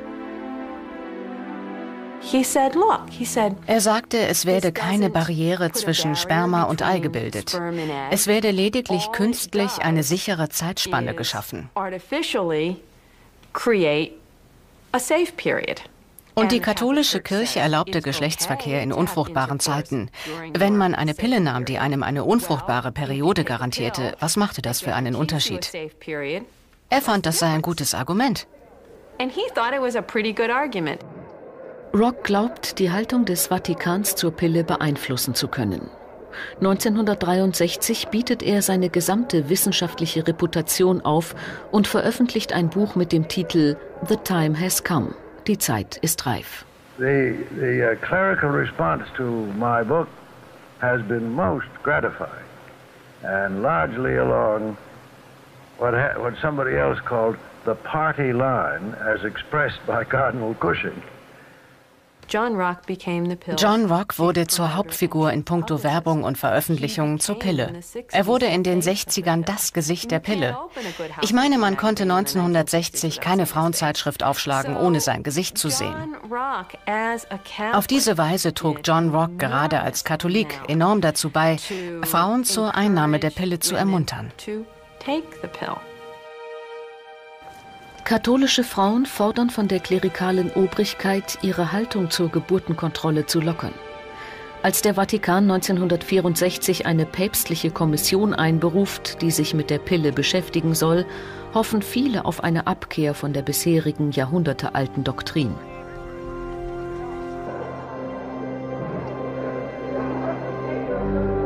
Die Haltung der Kirche kann sich ändern, zum Beispiel beim Fleischessen am Freitag. Dass ich es bei meiner Arbeit plötzlich mit all diesen jungen Frauen zu tun bekam, die die Pille nahmen und all diese Probleme hatten. Even though I have not prescribed the medication in some years, a procession of symptomatically unhappy women taking birth control pills continues to flow into my office. Denken Sie daran, dass die Dosierung der Pille in jenen Tagen zehnmal höher war als heute. Es war ein echter Hammer, diese Pille.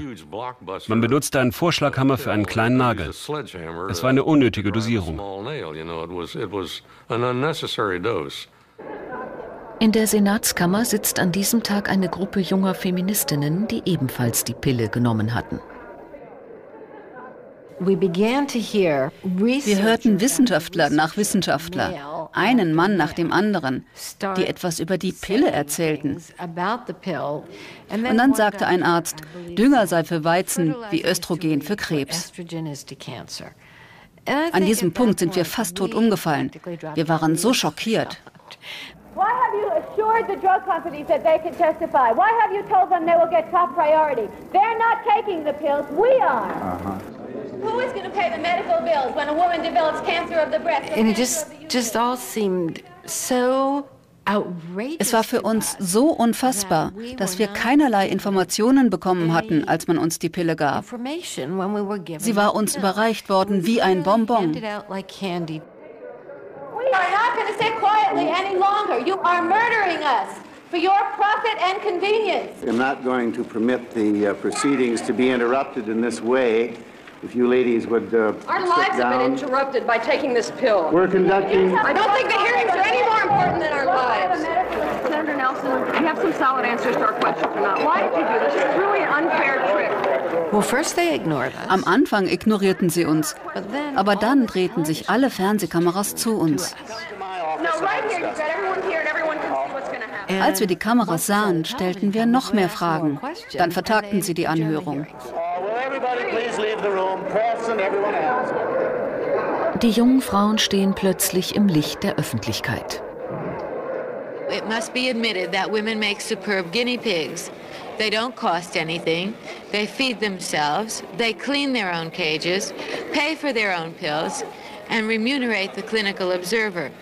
We will no longer tolerate intimidation by white-coated gods antiseptically directing our lives. Sie kamen Tag für Tag wieder und sie wurden zur eigentlichen Geschichte. Die Störungen während der Sitzungen. Es war die Boston Tea Party der Frauengesundheitsbewegung.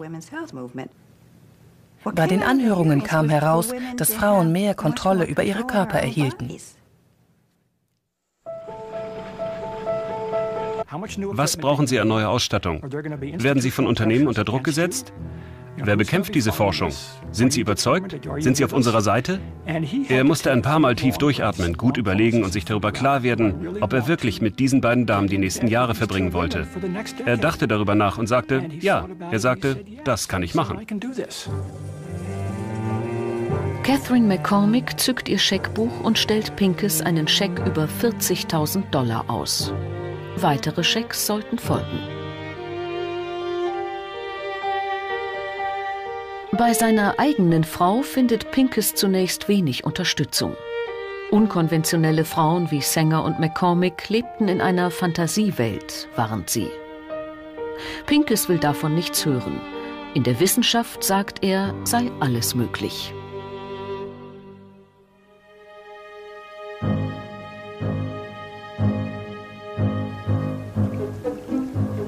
Mit McCormicks Unterstützung baut Pincus ein Labor, in dem er seine Hormontheorie in der Praxis testen kann.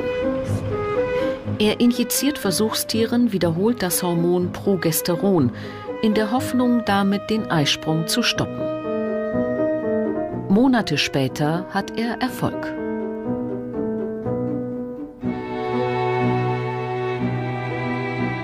Für Frauen allerdings wäre eine tägliche Injektion viel zu schmerzhaft und zu teuer. Zu Pinkes Überraschung hat die GD Seal Company inzwischen eine Progesteronpille entwickelt, aber bislang kaum genutzt. Pinkes überredet seinen ehemaligen Auftraggeber, ihm Proben zu überlassen.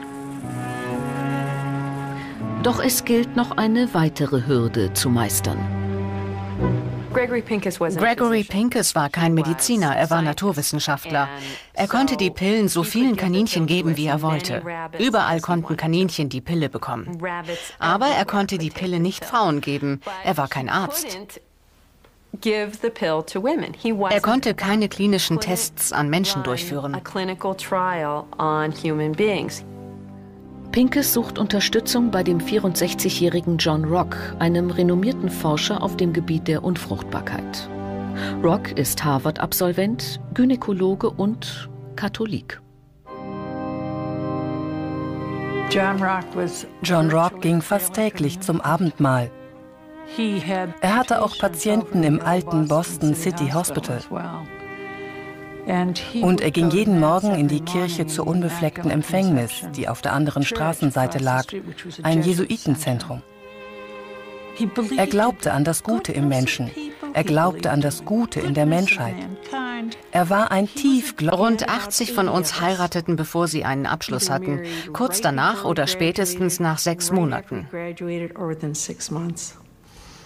Und wenn man zurückblickt, dann war es nicht der Auserwählte, sondern derjenige, der gerade da war. Einmal verheiratet ist die Rolle der Frauen vorgezeichnet.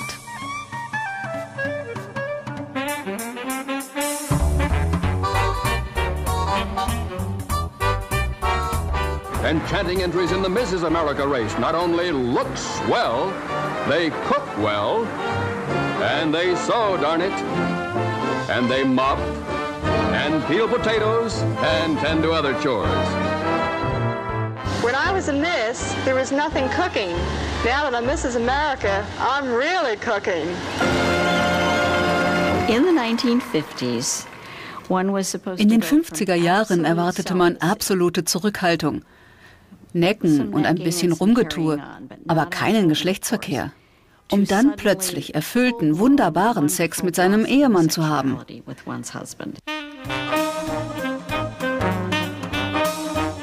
Wie durch Zauberei sollte sich alles über Nacht verwandeln. Ohne effektive Verhütungsmittel, über die sie selbst bestimmen können, stehen den meisten Frauen drei Jahrzehnte des Kinderkriegens bevor. Ich konnte mir ausmalen im Alter von 23, dass ich noch ein Baby, noch ein Baby und noch ein Baby bekommen würde. Der Gedanke, nun den Sex zu haben, den wir erwartet hatten, ob wir ihn mochten oder nicht, das war nicht der Punkt. Wir hatten den Sex, den wir wollten. Die Kontrolle der Fruchtbarkeit, um nicht wieder schwanger zu werden, das war enorm wichtig für uns. Aber wir konnten nicht darüber reden. Wir waren kurz vor diesem wundervollen Aufbruch, von dem wir meinten, dass er uns zustand. Aber wir waren noch nicht angekommen.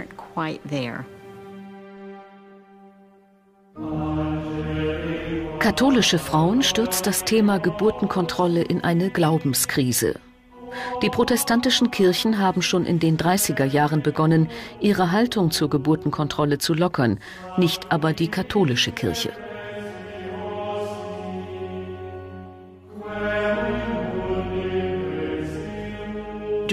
Während meiner College-Jahre gab es eine Mission in der großen lokalen Kirche in Südboston. Meine Mutter wollte nicht alleine gehen und so nahm sie mich mit in die Gruppe verheirateter Frauen. Und ich sage Ihnen, ich habe nie vorher so etwas gehört. Die Frauen kamen und die Priester sagten ihnen, wenn sie Geburtenkontrolle. Rock ist Harvard-Absolvent, Gynäkologe und Katholik. John Rock ging fast täglich zum Abendmahl. Er hatte auch Patienten im alten Boston City Hospital. Und er ging jeden Morgen in die Kirche zur unbefleckten Empfängnis, die auf der anderen Straßenseite lag, ein Jesuitenzentrum. Er glaubte an das Gute im Menschen. Er glaubte an das Gute in der Menschheit.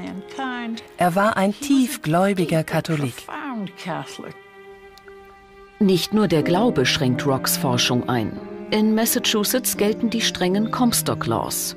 Sich mit Geburtenkontrolle zu beschäftigen, kann seine Karriere zerstören. Er war landesweit der bedeutendste Spezialist im Bereich der Fortpflanzungsforschung. Er hätte das nicht zu tun brauchen, aber er war unersättlich, immer auf der Suche nach neuen Anregungen. Er wollte immer Dinge wissen, die andere nicht wussten. Also er war außerdem für die Geburtenkontrolle. Als Katholik war er damit ziemlich einzigartig. Nachdem er jahrelang ungewollten Babys auf die Welt geholfen hat, hält Rock die kirchlich genehmigte Zyklusmethode für unbrauchbar. Sexuelle Abstinenz sieht er als wenig realistisch an und hält sie zudem in einer Ehe für schädlich. Bei der Aussicht, einen Katholiken an dem Pillenprojekt zu beteiligen, ist Margaret Sanger, selbst eine ehemalige Katholikin, zunächst gar nicht wohl. You say that originally the opposition was in all law, and you have to fight against that. Today your opposition stems mainly from where? From what source? Well, I think that the opposition uh, is mainly from the hierarchy of the Roman Catholic Church. Of the Church. You certainly can take no issue with the natural law as the hierarchy of the uh, Catholic Church regards it. Well, I certainly do take issue with it. I think it's untrue, and I think it's unnatural. Well, let me Everything ask you... bears it out that it's an unnatural attitude to take, and how do they know? I mean, after all, they're celibates. They don't know love. They don't know marriage. They know nothing about bringing up children or any of the marriage problems of life. And yet they speak to people as if they were God. Margaret Sanger Margaret Sanger war auf eine Art eine fanatische Antikatholikin. Das saß auf jeden Fall sehr tief bei ihr. Es war sehr emotional. Aber sie hatte auch ein ausgezeichnetes politisches Gespür.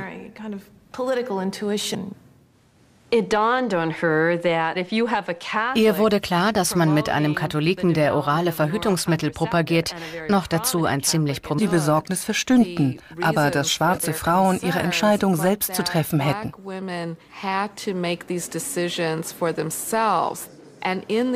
Zum Schluss entschieden sich genauso viele schwarze Frauen, die Pille zu nehmen, wie weiße.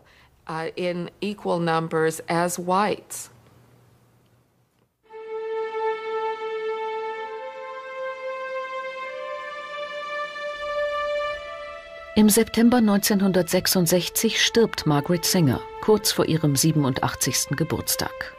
Für sie hat sich zuvor mit dem Ende der verhassten Comstock Laws ein Lebenstraum erfüllt. Knapp ein Jahr später stirbt auch Gregory Pincus, vermutlich an den Folgen seiner chemischen Laborversuche. Auch Catherine McCormick stirbt 1968 im Alter von 92 Jahren.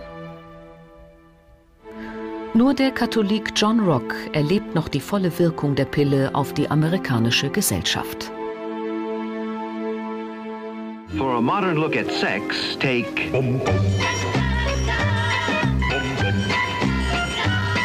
Nur eine Generation zuvor war das Thema Geburtenkontrolle in der Öffentlichkeit noch undenkbar. 1968 wird die Pille zum Hollywood-Star. vile, deceitful, treacherous, sneaky tricks. Someone switched the pills with the aspirins. In der Öffentlichkeit spricht man von sexueller Revolution.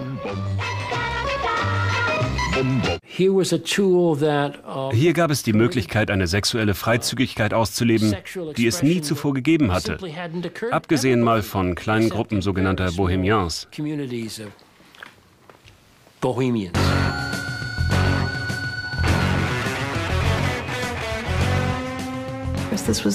Das war natürlich ein goldenes Zeitalter.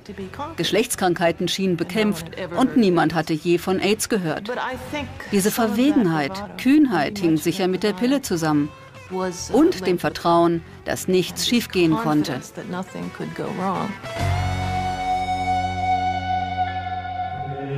Am 25. Juli 1968 veröffentlicht Papst Paul IV. seine Enzyklika Humanae Vitae von der menschlichen Würde. Die abschließende Erklärung der Kirche zur Pille. Die Antwort von Paul IV. war Nein. Kein einfaches Nein, sondern ein absolutes Nein. Eine erneute Bestätigung des absoluten Verbots jeglicher sogenannter künstlicher Form von Empfängnisverhütung. Humane what somebody else called the party line as expressed by Cardinal Cushing. John Rock wurde zur Hauptfigur in puncto Werbung und Veröffentlichungen zur Pille. Er wurde in den 60ern das Gesicht der Pille. Ich meine, man konnte 1960 keine Frauenzeitschrift aufschlagen, ohne sein Gesicht zu sehen. Auf diese Weise trug John Rock gerade als Katholik enorm dazu bei, Frauen zur Einnahme der Pille zu ermuntern. Katholische Frauen fordern von der klerikalen Obrigkeit, ihre Haltung zur Geburtenkontrolle zu lockern. Als der Vatikan 1964 eine päpstliche Kommission einberuft, die sich mit der Pille beschäftigen soll, hoffen viele auf eine Abkehr von der bisherigen jahrhundertealten Doktrin.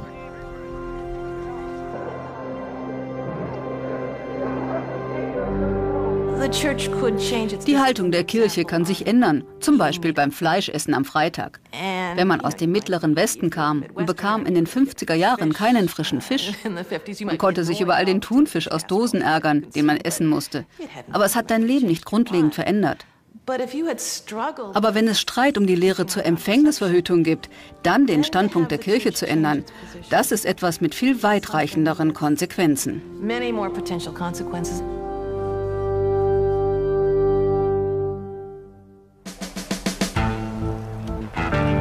1965 nehmen bereits mehr als sechs Millionen Frauen die Pille. Die amerikanische Gesellschaft ist im Umbruch.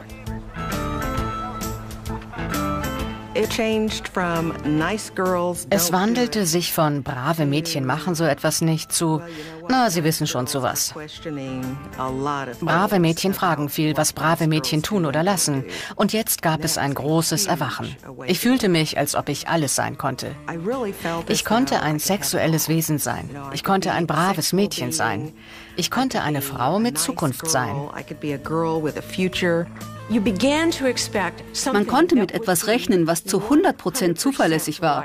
Und das bedeutete eine wirkliche Veränderung hin zu, wie es die Menschen im Geschäftsleben nannten, einer Verhütungsmentalität. Einer Mentalität, die davon ausgeht, dass Menschen ihre Fortpflanzung planen.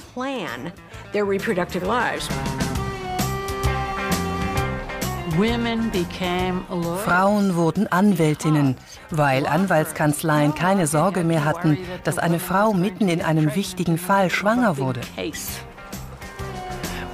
Frauen wurden Ärztinnen, weil sie ihre Kinder so planen konnten, dass sie Zeit hatten, Praktika und ihre Assistenzzeit zu machen. Frauen gingen zur Arbeit.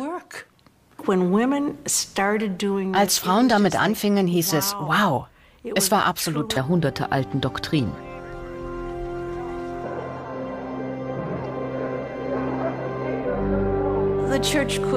Die Haltung der Kirche kann sich ändern, zum Beispiel beim Fleischessen am Freitag.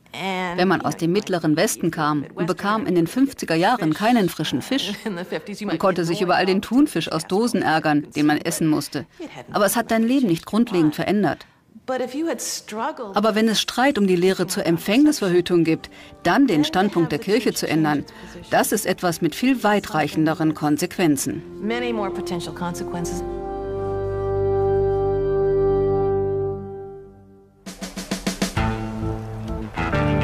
1965 nehmen bereits mehr als sechs Millionen Frauen die Pille.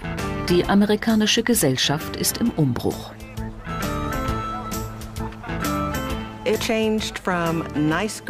Es wandelte sich von brave Mädchen machen so etwas nicht zu, na, Sie wissen schon zu was. Brave Mädchen fragen viel, was brave Mädchen tun oder lassen. Und jetzt gab es ein großes Erwachen. Ich fühlte mich, als ob ich alles sein konnte. Ich konnte ein sexuelles Wesen sein. Ich konnte ein braves Mädchen sein. Ich konnte eine Frau mit Zukunft sein. Man konnte mit etwas rechnen, was zu 100 Prozent zuverlässig war. Und das bedeutete eine wirkliche Veränderung hin zu, wie es die Menschen im Geschäftsleben nannten, einer Verhütungsmentalität. Einer Mentalität, die davon ausgeht, dass Menschen ihre Fortpflanzung planen.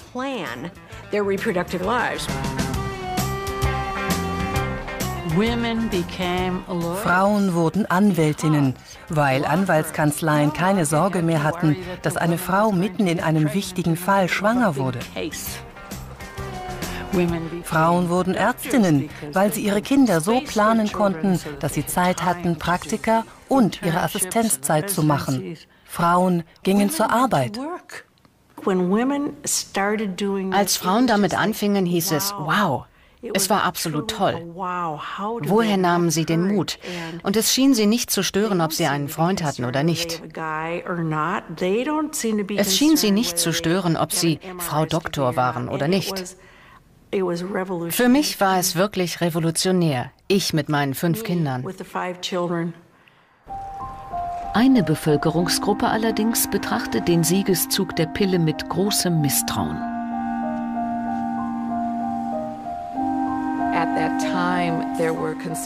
Die schwarze Bevölkerung hatte große Sorge, dass Geburtenplanung, insbesondere Geburtenplanung in von Weißen dominierten Krankenhäusern, eine Form von rassistisch motiviertem Völkermord sei. Im Süden wurden Frauen derart häufig sterilisiert, dass die Schwarz revolutionär, ich mit meinen fünf Kindern. Eine Bevölkerungsgruppe allerdings betrachtet den Siegeszug der Pille mit großem Misstrauen.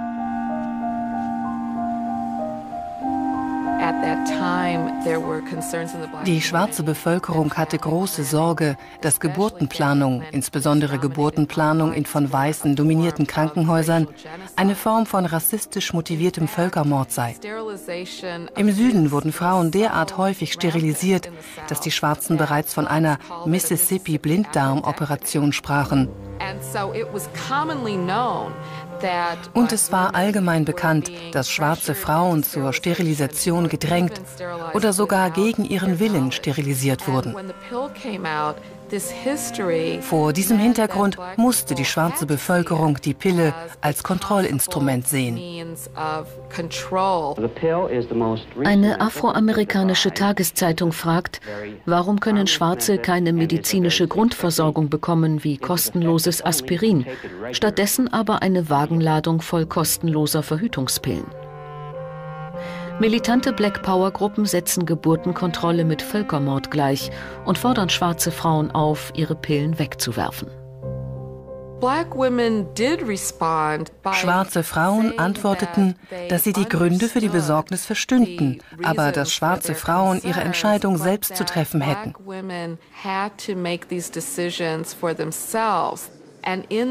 Zum Schluss entschieden sich genauso viele schwarze Frauen, die Pille zu nehmen, wie weiße uh, in equal numbers as whites.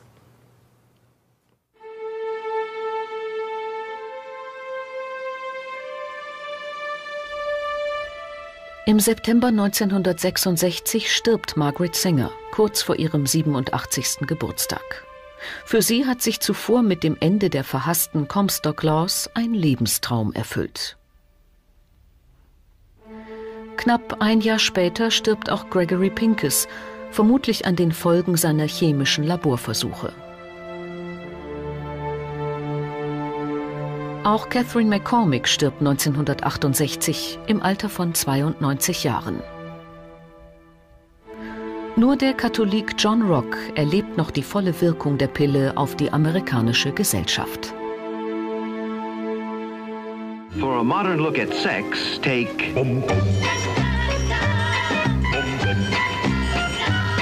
Nur eine Generation zuvor war das Thema Geburtenkontrolle in der Öffentlichkeit noch undenkbar. 1968 wird die Pille zum Hollywood-Star.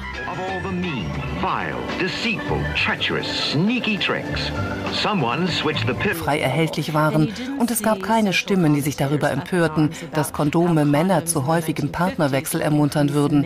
An weibliche Tugenden wurden weitaus strengere Maßstäbe angelegt. John Rock ist ebenfalls um die Moral besorgt, aber er glaubt fest daran, dass die Pille mit den Lehren seiner Kirche im Einklang steht. Er sagte, es werde keine Barriere zwischen Sperma und Ei gebildet. Es werde lediglich künstlich eine sichere Zeitspanne geschaffen.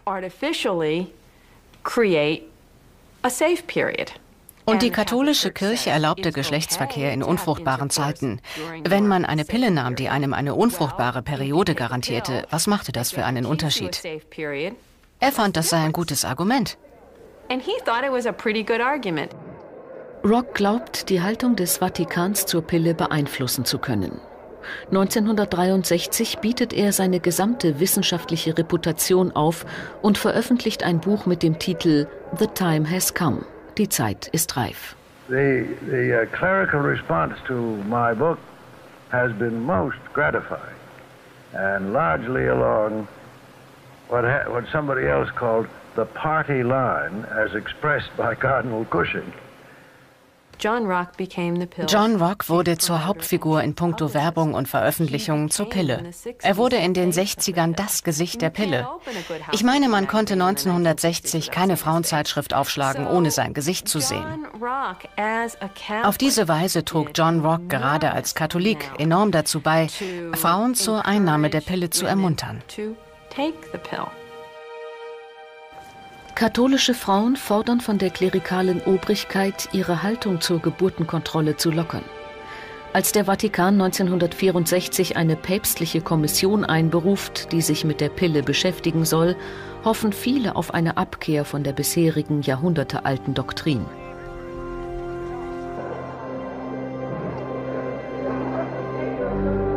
Die Haltung der Kirche kann sich ändern, zum Beispiel beim Fleischessen am Freitag.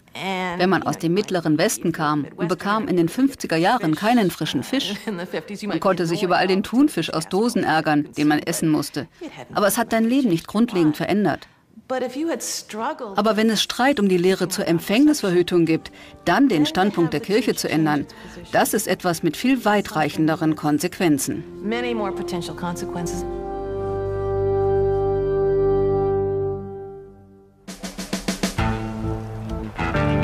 1965 nehmen bereits mehr als sechs Millionen Frauen die Pille. Die amerikanische Gesellschaft ist im Umbruch. besorgten Gesichtern herum, dann ist das schon beeindruckend.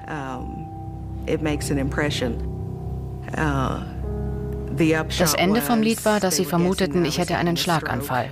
Das war tatsächlich die Diagnose. Ich erinnerte mich gelesen zu haben, dass einige Frauen gestorben waren. Sie hatten Schlaganfälle. Aber ich wollte unbedingt glauben, dass es nicht die Verhütungspille war, dass es an etwas anderem gelegen hatte. Es konnte einfach nicht die Verhütungspille sein. Auch weil ich davon überzeugt war, dass sie nicht etwas verschreiben würden, was uns schaden könnte. 1969 reißt ein schonungsloses Aufklärungswerk die Mediziner unsanft aus ihrer Selbstgefälligkeit. Wir waren ausgesperrt. Man hatte uns erzählt, dass wir von der modernen Wissenschaft dieses wunderbare Geschenk bekommen hätten, das unser Leben so viel besser machen würde. Aber es gab eine ziemlich dunkle Seite und die dunkle Seite wurde versteckt und geleugnet. Eine Menge gesunder junger Frauen starb oder blieb verkrüppelt. Wir konnten das nicht ignorieren. Siemens Buch erregt die Aufmerksamkeit des US-Senators Gaylord Nelson. Er organisiert eine Anhörung. Im Januar 1970 werden Experten nach Washington bestellt. Zur Aussage sind nur Männer geladen. Da war ich, der alte Phil Ball, ein einfacher Arzt aus Muncie, Indiana, und wir gingen in die Landeshauptstadt. Wir gingen zu den Anhörungen und fanden den Weg in diesen Senatsraum. Es war ein großer Saal voller Menschen. Und ich erzählte, dass ich es bei meiner Arbeit plötzlich mit all diesen jungen Frauen zu tun bekam, die die Pille nahmen und all diese Probleme hatten. Even though I have not prescribed the medication in some years, a procession of symptomatically unhappy women taking birth control pills continues to flow into my office. Denken Sie daran, dass die Dosierung der Pille in jenen Tagen zehnmal höher war als heute. Es war ein echter Hammer, diese Pille. Man benutzte einen Vorschlaghammer für einen kleinen Nagel. Es war eine unnötige Dosierung. In der Senatskammer sitzt an diesem Tag eine Gruppe junger Feministinnen, die ebenfalls die Pille genommen hatten. Wir hörten Wissenschaftler nach Wissenschaftler, einen Mann nach dem anderen, die etwas über die Pille erzählten. Und dann sagte ein Arzt, Dünger sei für Weizen wie Östrogen für Krebs. An diesem Punkt sind wir fast tot umgefallen. Wir waren so schockiert. Why have you assured the drug companies that they can testify? Why have you told them they will get top priority? They're not taking the pills, we are. Uh -huh. Who is going to pay the medical bills when a woman develops cancer of the breast? And it just, just all seemed so es war für uns gesagt wurde, aber es war so. Der Effekt dieser Strafpredigt, dieser wochenlangen Tiraden, wir hatten innerhalb eines Jahres fünf Neugeborene in unserem Haus. Offen gestanden, das effektivste Druckmittel in den 50er Jahren war die legendäre Mrs. Murphy oder Mrs. O'Shaughnessy oder Mrs. Kropnik aus deiner Kirchengemeinde, die Sonntagmorgens mit ihren zehn Kindern kam, wie die Orgelpfeifen. Das älteste war zwölf und das jüngste war noch ein Baby. Sie waren hübsch angezogen und benahmen sich ordentlich. Sie saßen in der Messe in der ersten Reihe und schienen dem Gottesdienst aufmerksamer und ehrfürchtiger zuzuhören als deine Kinder. Und sie sah großartig aus. Sie war schlank und gelassen. Ihr Ehemann schien der Inbegriff eines vertrauenswürdigen Familienoberhauptes zu sein. Und wenn sie das konnte, warum nicht du? Honey, uh, now that we've had this baseball team, uh, what do you say about a football team? no, no. Und es ist ja in mancherlei Hinsicht ein attraktiver Lebensentwurf. Aber ich denke, in der Realität war es für viele Paare eine echte Überforderung. In Massachusetts und Connecticut, beides Staaten mit einem hohen Anteil Katholiken, ist die Verwendung von Verhütungsmitteln sogar gesetzlich verboten und wird mit Geldstrafen oder Gefängnis geahndet. Was war erlaubt in Connecticut in Sachen Verhütung? Die Antwort lautet null, nichts. Das mag Sie schockieren, aber stattdessen entfernten wir die Gebärmutter. Wir machten es kurz nach der Niederkunft, sechs, sieben Wochen nach der Geburt. Wenn man bei jemandem die Gebärmutter vaginal entfernt, der bereits drei oder vier Kinder bekommen hat, dann hat man nur zwei Möglichkeiten. Entweder man ist schneller als der Teufel oder man kann gleich eine Blutbank knacken, weil der Blutverlust unglaublich hoch ist. Es war altertümlich, absolut altertümlich. Wenn man es sportlich sieht, dann waren wir froh, eine Möglichkeit zum Operieren zu haben. Aber unsere armen Patientinnen litten schrecklich. Das Risiko, das wir eingingen, war nicht vernünftig und völlig inakzeptabel.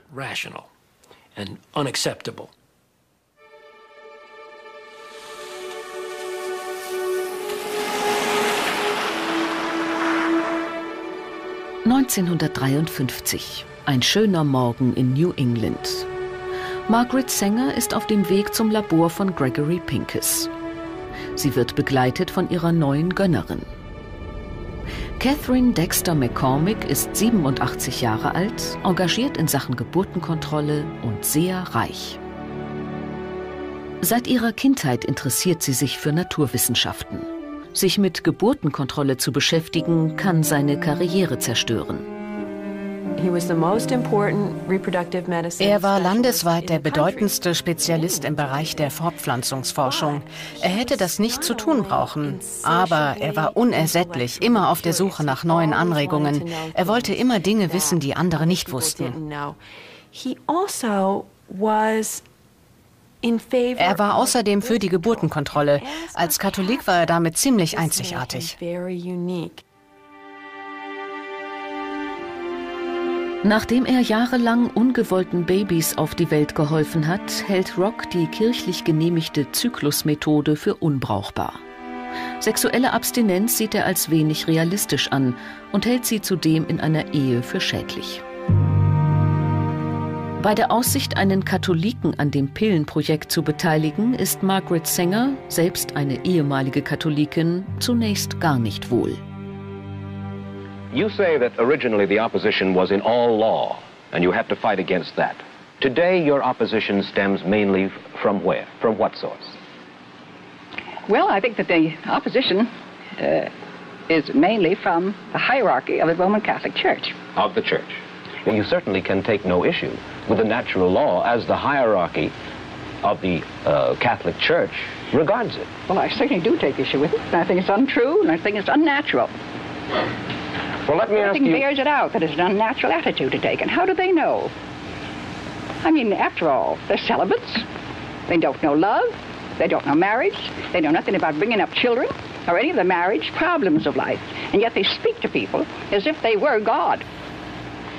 Margaret Sanger Margaret Sanger war auf eine Art eine fanatische Antikatholikin. Das saß auf jeden Fall sehr tief bei ihr. Es war sehr emotional. Aber sie hatte auch ein ausgezeichnetes politisches Gespür.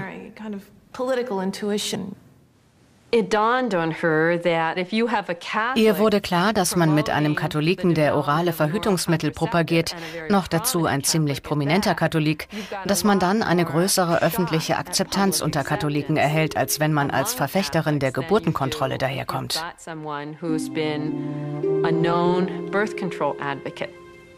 Sänger schiebt ihre Bedenken gegen Rock beiseite.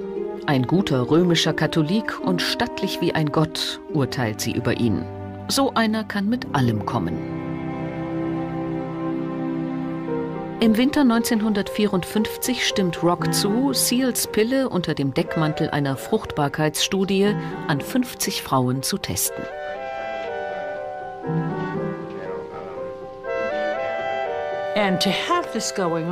Und er war landesweit der bedeutendste Spezialist im Bereich der Fortpflanzungsforschung. Er hätte das nicht zu tun brauchen, aber er war unersättlich, immer auf der Suche nach neuen Anregungen. Er wollte immer Dinge wissen, die andere nicht wussten. Also er war außerdem für die Geburtenkontrolle. Als Katholik war er damit ziemlich einzigartig. Nachdem er jahrelang ungewollten Babys auf die Welt geholfen hat, hält Rock die kirchlich genehmigte Zyklusmethode für unbrauchbar. Sexuelle Abstinenz sieht er als wenig realistisch an und hält sie zudem in einer Ehe für schädlich. Bei der Aussicht, einen Katholiken an dem Pillenprojekt zu beteiligen, ist Margaret Sanger, selbst eine ehemalige Katholikin, zunächst gar nicht wohl. You say that originally the opposition was in all law, and you have to fight against that. Today, your opposition stems mainly from where? From what source? Well, I think that the opposition uh, is mainly from the hierarchy of the Roman Catholic Church. Of the Church. Well, you certainly can take no issue with the natural law as the hierarchy of the uh, Catholic Church regards it. Well, I certainly do take issue with it. I think it's untrue, and I think it's unnatural. Well, let me ask you... bears it out that it's an unnatural attitude to take. And how do they know? I mean, after all, they're celibates. They don't know love. They don't know marriage. They know nothing about bringing up children or any of the marriage problems of life. And yet they speak to people as if they were God. Margaret Sanger Margaret Sanger war auf eine Art eine fanatische Antikatholikin. Das saß auf jeden Fall sehr tief bei ihr. Es war sehr emotional. Aber sie hatte auch ein ausgezeichnetes politisches Gespür.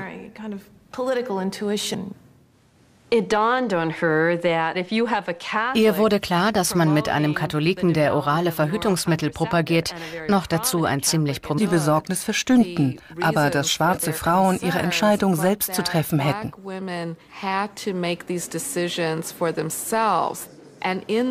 Zum Schluss entschieden sich genauso viele schwarze Frauen, die Pille zu nehmen, wie weiße.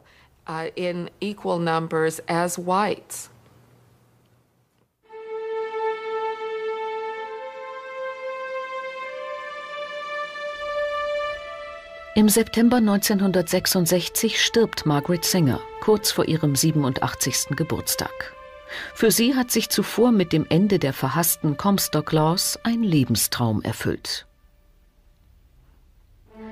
Knapp ein Jahr später stirbt auch Gregory Pincus, vermutlich an den Folgen seiner chemischen Laborversuche. Katholische Frauen fordern von der klerikalen Obrigkeit, ihre Haltung zur Geburtenkontrolle zu lockern.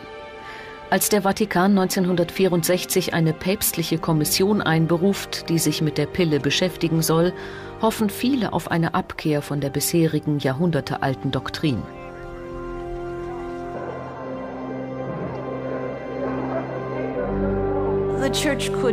Die Haltung der Kirche kann sich ändern, zum Beispiel beim Fleischessen am Freitag. Dass ich es bei meiner Arbeit plötzlich mit all diesen jungen Frauen zu tun bekam, die die Pille nahmen und all diese Probleme hatten taking the pill that had all these problems. Even though I have not prescribed the medication in some years, a procession of symptomatically unhappy women taking birth control pills continues to flow into my office. Denken Sie daran, dass die Dosierung der Pille in jenen Tagen zehnmal höher war als heute. Es war ein echter Hammer, diese Pille. Man benutzte einen Vorschlaghammer für einen kleinen Nagel. Es war eine unnötige Dosierung. In der Senatskammer sitzt an diesem Tag eine Gruppe junger Feministinnen, die ebenfalls die Pille genommen hatten. Wir hörten Wissenschaftler nach Wissenschaftler, einen Mann nach dem anderen, die etwas über die Pille erzählten. Und dann sagte ein Arzt, Dünger sei für Weizen wie Östrogen für Krebs. An diesem Punkt sind wir fast tot umgefallen. Wir waren so schockiert. Why have you assured the drug companies that they can testify? Why have you told them they will get top priority? They're not taking the pills, we are. Who is going to pay the medical bills when a woman develops cancer of the breast? And it just, just all seemed so es war für uns so unfassbar, dass wir keinerlei Informationen bekommen hatten, als man uns die Pille gab. Sie war uns überreicht worden wie ein Bonbon. We are not going to sit quietly any longer. You are murdering us for your profit and convenience. I'm not going to permit the uh, proceedings to be interrupted in this way. If you ladies would uh, Our lives down. have been interrupted by taking this pill. We're conducting... I don't think the hearings are any more important than our lives. Senator Nelson, we have some solid answers to our questions or not. Why did you do this? It's really an unfair trick. Well, first they ignored us. Am Anfang ignorierten sie uns, aber dann drehten sich alle Fernsehkameras zu uns. Als wir die Kameras sahen, stellten wir noch mehr Fragen. Dann vertagten sie die Anhörung. Die jungen Frauen stehen plötzlich im Licht der Öffentlichkeit. It must be admitted that women make superb guinea pigs. They don't cost anything. They feed themselves. They clean their own cages, pay for their own pills, and remunerate the clinical observers. Es hat mich höllisch geärgert. Mit der Pille wächst eine Generation von Aktivistinnen heran nicht nur in den Arztpraxen, auch auf den Straßen, in den Betten, in der Gesellschaft.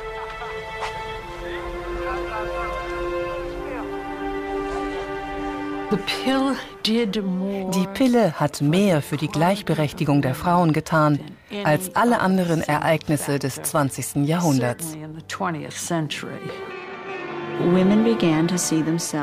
Frauen begannen sich zum ersten Mal in der Geschichte als wirtschaftlich eigenständige Einheit zu sehen. Und ich denke, das war eine der wichtigsten Veränderungen. Gut 80 Prozent aller amerikanischen Frauen, die nach 45 geboren wurden, nahmen die Pille. Man kann die Geschichte der modernen Frau nicht verstehen, ohne zu fragen, was die Pille für die Frauen getan, aber auch was sie mit ihnen gemacht hat.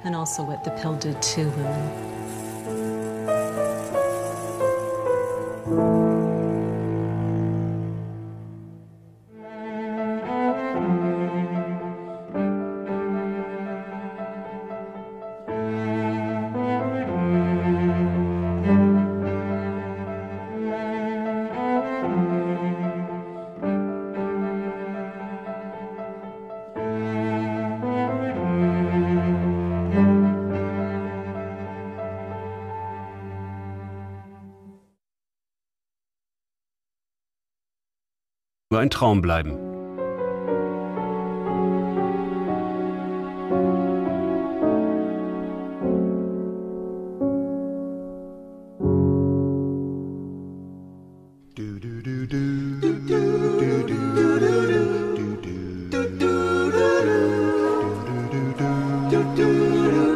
Als das Projekt Pille bereits abgesagt scheint, steckt das Land mitten im größten Babyboom seiner Geschichte. Die meisten Frauen heiraten mit 19 und mehr als die Hälfte ist innerhalb der ersten sieben Monate schwanger.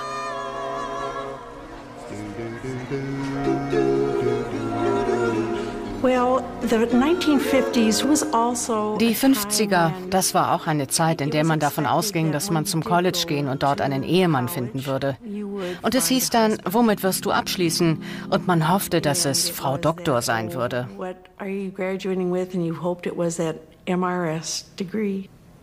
Die meisten von uns fanden ihren Mann am College.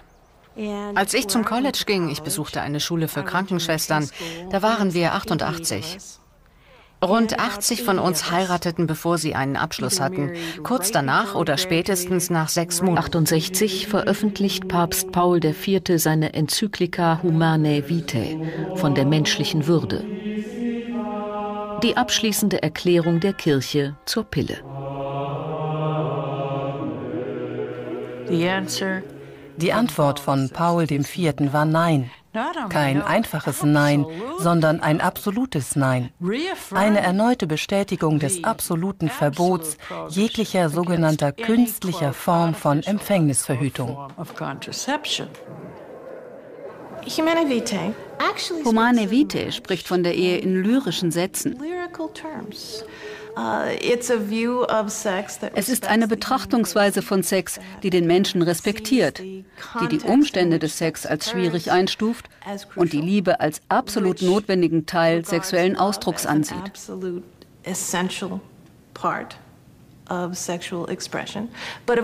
Aber natürlich begrenzt sie Sex auf die Ehe und verbindet ihn damit unweigerlich mit der Zeugung.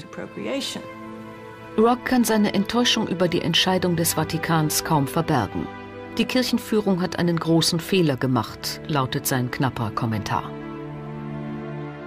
John Rock ist am Boden zerstört. Er findet es schwer, wirklich schwer zu glauben, dass seine Kirche so unklug, wie er es sah, reagieren konnte.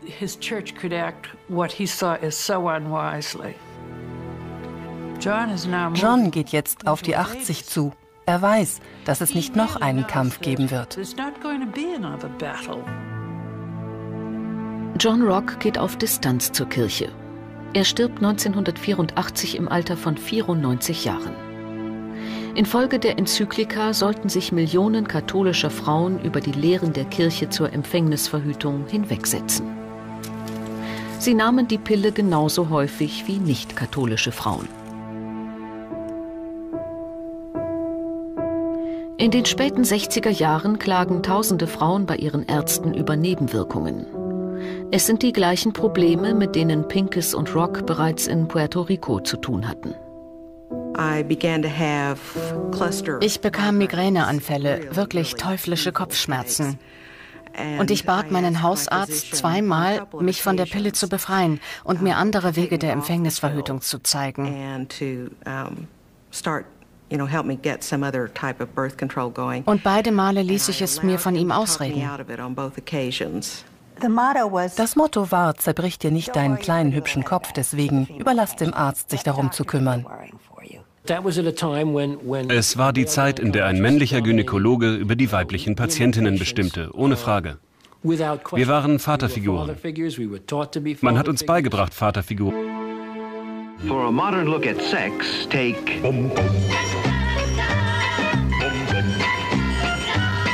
Nur eine Generation zuvor war das Thema Geburtenkontrolle in der Öffentlichkeit noch undenkbar.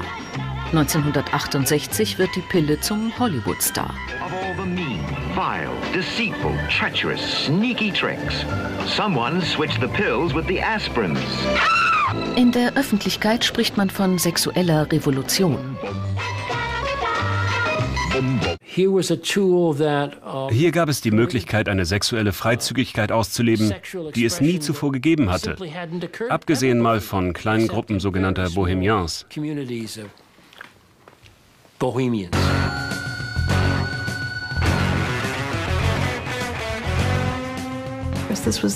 Das war natürlich ein goldenes Zeitalter. Geschlechtskrankheiten schienen bekämpft und niemand hatte je von AIDS gehört. Diese Verwegenheit, Kühnheit hing sicher mit der Pille zusammen und dem Vertrauen, dass nichts schiefgehen konnte.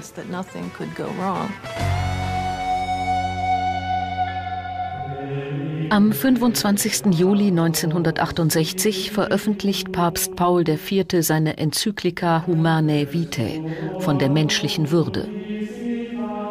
Die abschließende Erklärung der Kirche zur Pille. Die Antwort von Paul IV. war Nein. Kein einfaches Nein, sondern ein absolutes Nein. Eine erneute Bestätigung des absoluten Verbots jeglicher sogenannter künstlicher Form von Empfängnisverhütung. Humane Vitae spricht von der Ehe in lyrischen Sätzen. Uh, es ist eine Betrachtungsweise von Sex, die den Menschen respektiert, die die Umstände des Sex als schwierig einstuft und die Liebe als absolut notwendigen Teil sexuellen Ausdrucks ansieht.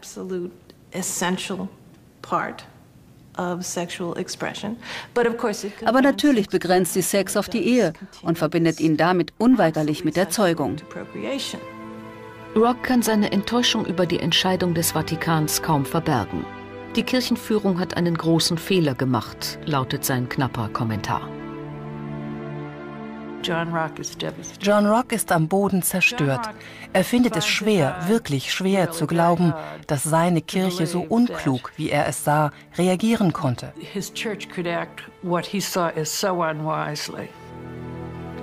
John geht jetzt auf die 80 zu.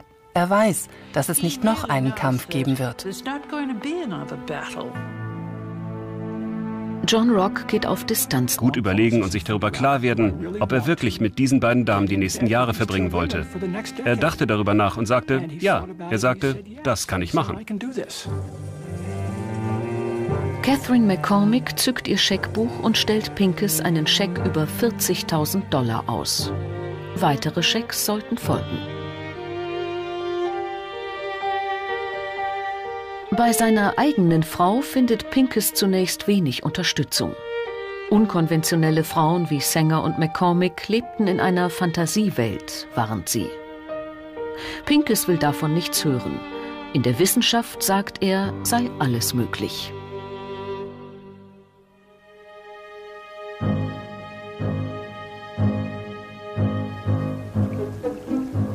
Mit McCormicks Unterstützung baut Pinkes ein Labor, in dem er seine Hormontheorie in der Praxis testen kann.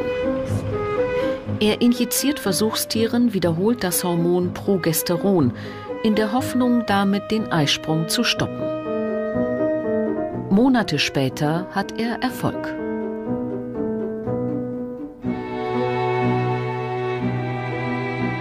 Für Frauen allerdings wäre eine tägliche Injektion viel zu schmerzhaft und zu teuer. Zu Pinkes Überraschung hat die GD Seal Company inzwischen eine Progesteronpille entwickelt, aber bislang kaum genutzt. Pinkes überredet seinen ehemaligen Auftraggeber, ihm Proben zu überlassen. Doch es gilt noch eine weitere Hürde zu meistern. Gregory Pincus war kein Mediziner, er war Naturwissenschaftler. Er konnte die Pillen so vielen Kaninchen geben, wie er wollte. Überall konnten Kaninchen die Pille bekommen. Aber er konnte die Pille nicht Frauen geben. Er war kein Arzt. Er konnte keine klinischen Tests an Menschen durchführen. Pincus sucht Unterstützung bei dem 64-jährigen John Rock, einem renommierten Forscher auf dem Gebiet der Unfruchtbarkeit. Rock ist Harvard-Absolvent, Gynäkologe und Katholik. John Rock ging fast täglich zum Abendmahl. Er hatte auch Patienten im alten Boston City Hospital. Und er ging jeden Morgen in die Kirche zur unbefleckten Empfängnis, die auf der anderen Straßenseite lag, ein Jesuitenzentrum. Er glaubte an das Gute im Menschen. Er glaubte an das Gute in der Menschheit.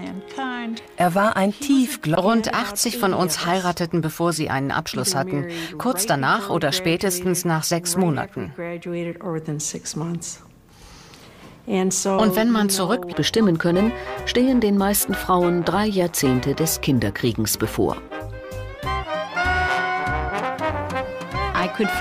Ich konnte mir ausmalen im Alter von 23, dass ich noch ein Baby, noch ein Baby und noch ein Baby bekommen würde. Der Gedanke, nun den Sex zu haben, den wir erwartet hatten, ob wir ihn mochten oder nicht, der Inselstaat mitten in der Industrialisierung und es gab eine Menge Jobs für Frauen in all diesen neuen Fabriken.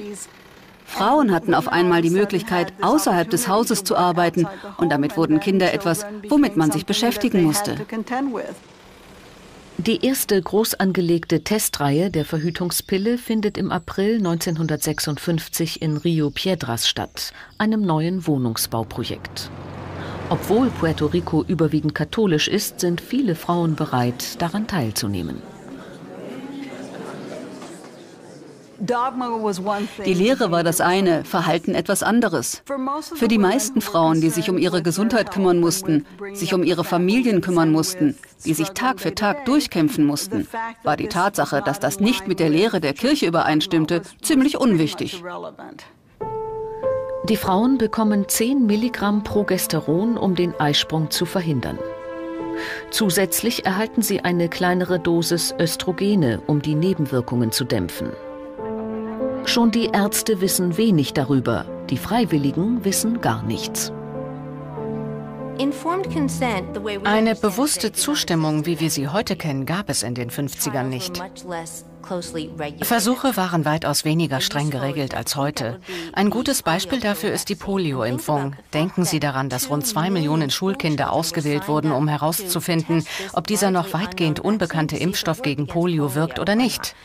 Die Menschen waren sehr empfänglich für die Medizin und ihre Produkte und sie nahmen bereitwillig an Testprogrammen teil, um zu sehen, ob etwas wirkte oder nicht. Im Laufe der Tests klagen einige der Frauen über Übelkeit, Schwindelgefühl, Kopf- und Bauchschmerzen und Erbrechen. Nach neun Monaten Testphase berichtet die medizinische Direktorin in Puerto Rico an Pinkes, dass die Pille 100%ig wirkt, wenn sie regelmäßig eingenommen wird.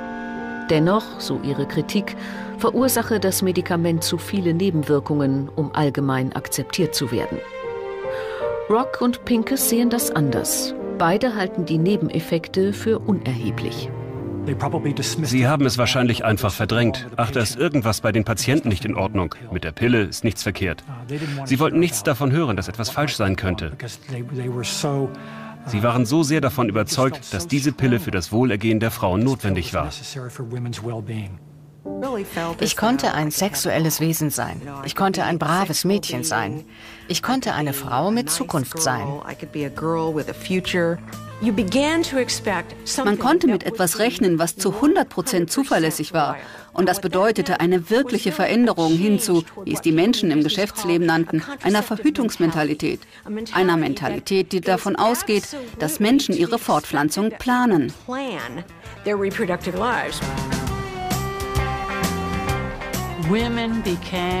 Frauen wurden Anwältinnen, weil Anwaltskanzleien keine Sorge mehr hatten, dass eine Frau mitten in einem wichtigen Fall schwanger wurde. Frauen wurden Ärztinnen, weil sie ihre Kinder so planen konnten, dass sie Zeit hatten, Praktika und ihre Assistenzzeit zu machen. Frauen gingen zur Arbeit. Als Frauen damit anfingen, hieß es, wow, es war absolut toll. Woher nahmen sie den Mut? Und es schien sie nicht zu stören, ob sie einen Freund hatten oder nicht. Es schien sie nicht zu stören, ob sie Frau Doktor waren oder nicht. Für mich war es wirklich revolutionär, ich mit meinen fünf Kindern. Eine Bevölkerungsgruppe allerdings betrachtet den Siegeszug der Pille mit großem Misstrauen.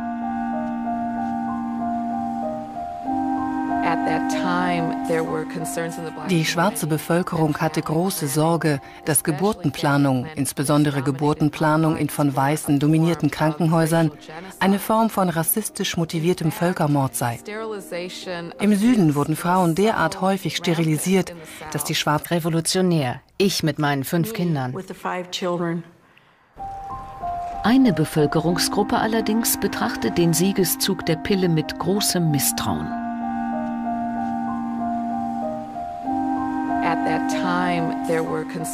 Die schwarze Bevölkerung hatte große Sorge, dass Geburtenplanung, insbesondere Geburtenplanung in von Weißen dominierten Krankenhäusern, eine Form von rassistisch motiviertem Völkermord sei. Im Süden wurden Frauen derart häufig sterilisiert, dass die Schwarzen bereits von einer Mississippi-Blinddarm-Operation sprachen. Und es war allgemein bekannt, dass schwarze Frauen zur Sterilisation gedrängt oder sogar gegen ihren Willen sterilisiert wurden. Vor diesem Hintergrund musste die schwarze Bevölkerung die Pille als Kontrollinstrument sehen. Eine afroamerikanische Tageszeitung fragt, warum können Schwarze keine medizinische Grundversorgung bekommen wie kostenloses Aspirin, stattdessen aber eine Wagenladung voll kostenloser Verhütungspillen. They cook well and they sew, darn it, and they mop and peel potatoes and tend to other chores. When I was a Miss, there was nothing cooking. Now that I'm Mrs. America, I'm really cooking. In the 1950s, in den 50er Jahren erwartete man absolute Zurückhaltung. Necken und ein bisschen Rumgetue, aber keinen Geschlechtsverkehr um dann plötzlich erfüllten, wunderbaren Sex mit seinem Ehemann zu haben.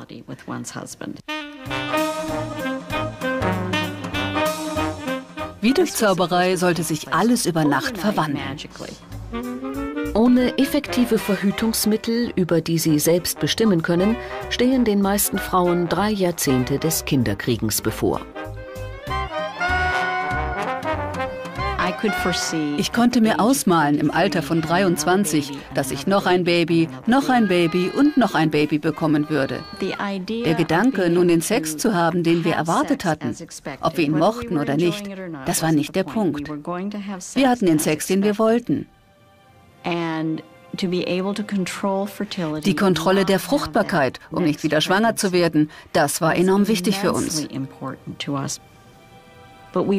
Aber wir konnten nicht darüber reden. Wir waren kurz vor diesem wundervollen Aufbruch, von dem wir meinten, dass er uns zustand. Aber wir waren noch nicht angekommen.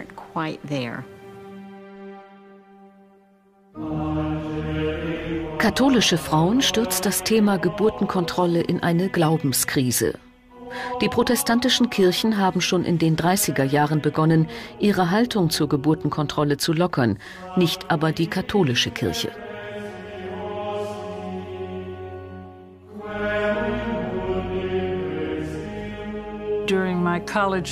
Während meiner College-Jahre gab es eine Mission in der großen lokalen Kirche in Südboston. Meine Mutter wollte nicht alleine gehen und so nahm sie mich mit in die Gruppe verheirateter Frauen. Und ich sage Ihnen, ich habe nie vorher so etwas gehört. Die Frauen kamen und die Priester sagten ihnen, wenn sie Geburtenkontrolle. Rock ist Harvard-Absolvent, Gynäkologe und Katholik. John Rock ging fast täglich zum Abendmahl. Er hatte auch Patienten im alten Boston City Hospital. Und er ging jeden Morgen in die Kirche zur unbefleckten Empfängnis, die auf der anderen Straßenseite lag, ein Jesuitenzentrum. Er glaubte an das Gute im Menschen. Er glaubte an das Gute in der Menschheit. Er war ein tiefgläubiger Katholik. Nicht. Schon die Ärzte wissen wenig darüber. Die Freiwilligen wissen gar nichts. Eine bewusste Zustimmung, wie wir sie heute kennen, gab es in den 50ern nicht. Versuche waren weitaus weniger streng geregelt als heute. Ein gutes Beispiel dafür ist die Polio-Impfung. Denken Sie daran, dass rund zwei Millionen Schulkinder ausgewählt wurden, um herauszufinden, ob dieser noch weitgehend unbekannte Impfstoff gegen Polio wirkt oder nicht. Die Menschen waren sehr empfänglich für die Medizin und ihre Produkte und sie nahmen bereitwillig an Testprogrammen teil, um zu sehen, ob etwas wirkte oder nicht. Im Laufe der Tests klagen einige der Frauen über Übelkeit, Schwindelgefühl, Kopf- und Bauchschmerzen und Erbrechen. Nach neun Monaten Testphase berichtet die medizinische Direktorin in Puerto Rico an Pinkes, dass die Pille 100%ig wirkt, wenn sie regelmäßig eingenommen wird. Dennoch, so ihre Kritik, verursache das Medikament zu viele Nebenwirkungen, um allgemein akzeptiert zu werden. Rock und Pinkes sehen das anders. Beide halten die Nebeneffekte für unerheblich. Sie haben es wahrscheinlich einfach verdrängt. Ach, da ist irgendwas bei den Patienten nicht in Ordnung. Mit der Pille ist nichts verkehrt. Sie wollten nichts davon hören, dass etwas falsch sein könnte. Sie waren so sehr davon überzeugt, dass diese Pille für das Wohlergehen der Frauen notwendig war. Pinkes vertraut dem neuen Medikament dermaßen, dass er es sogar Familienangehörigen gibt. Nun muss nur noch GD Seal davon überzeugt werden, als erster pharmazeutischer Konzern die Pille auf den Markt zu bringen.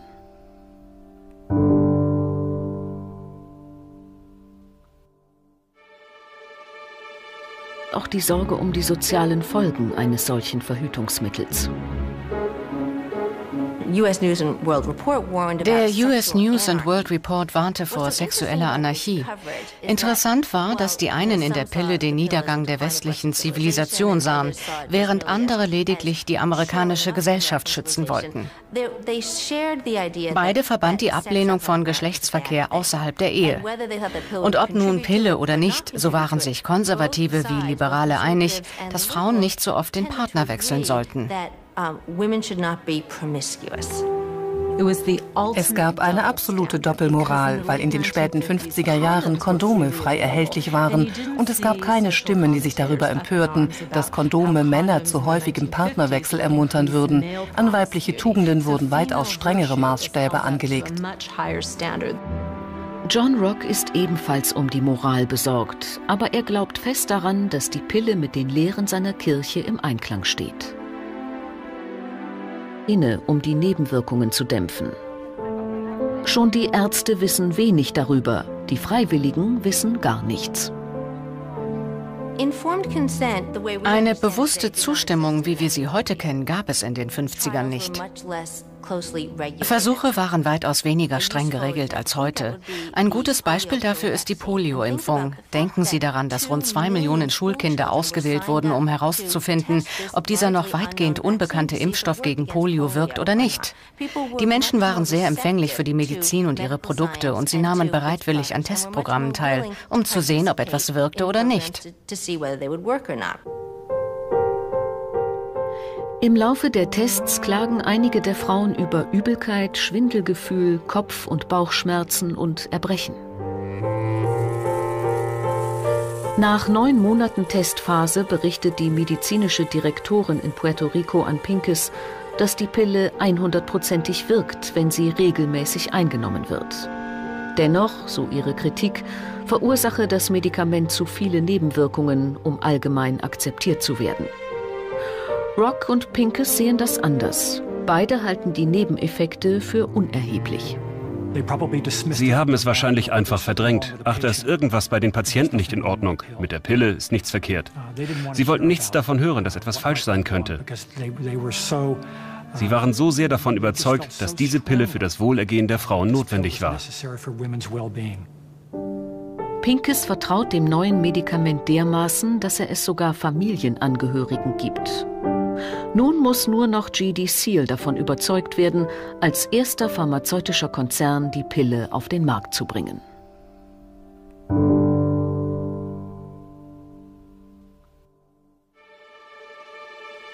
Auch die Sorge um die sozialen Folgen eines solchen Verhütungsmittels. Der US News and World Report warnte vor sexueller Anarchie. Interessant war, dass die einen in der Pille den Niedergang der westlichen Zivilisation sahen, während andere lediglich die amerikanische Gesellschaft schützen wollten. Beide verband die Ablehnung von Geschlechtsverkehr außerhalb der Ehe. Und ob nun Pille oder nicht, so waren sich Konservative wie Liberale einig, dass Frauen nicht so oft den Partner wechseln sollten. Es gab eine absolute Doppelmoral, weil in den späten 50er Jahren Kondome frei erhältlich waren und es gab keine Stimmen, die sich darüber empörten, dass Kondome Männer zu häufigem Partnerwechsel ermuntern würden. An weibliche Tugenden wurden weitaus strengere Maßstäbe angelegt. John Rock ist ebenfalls um die Moral besorgt, aber er glaubt fest daran, dass die Pille mit den Lehren seiner Kirche im Anbetten in der Gesellschaft.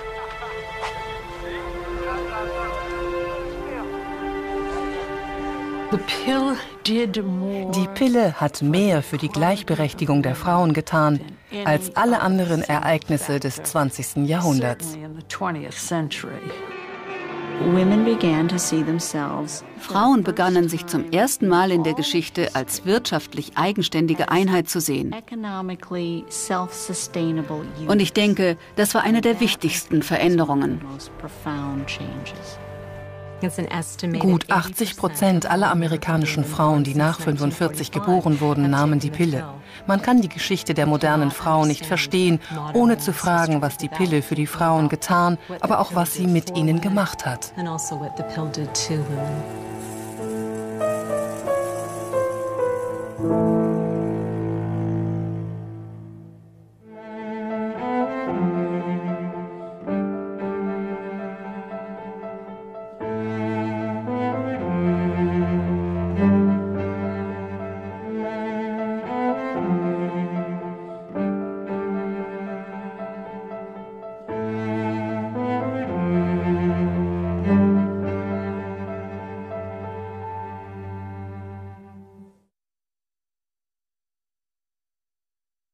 Nur ein Traum bleiben.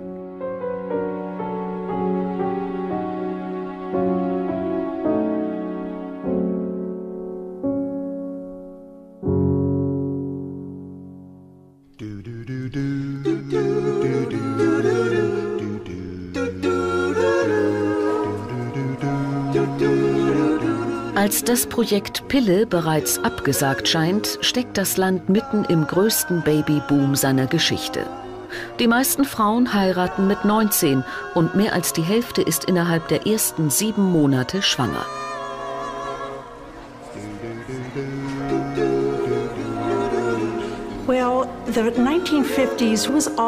Die 50er, das war auch eine Zeit, in der man davon ausging, dass man zum College gehen und dort einen Ehemann finden würde. Und es hieß dann, womit wirst du abschließen? Und man hoffte, dass es Frau Doktor sein würde.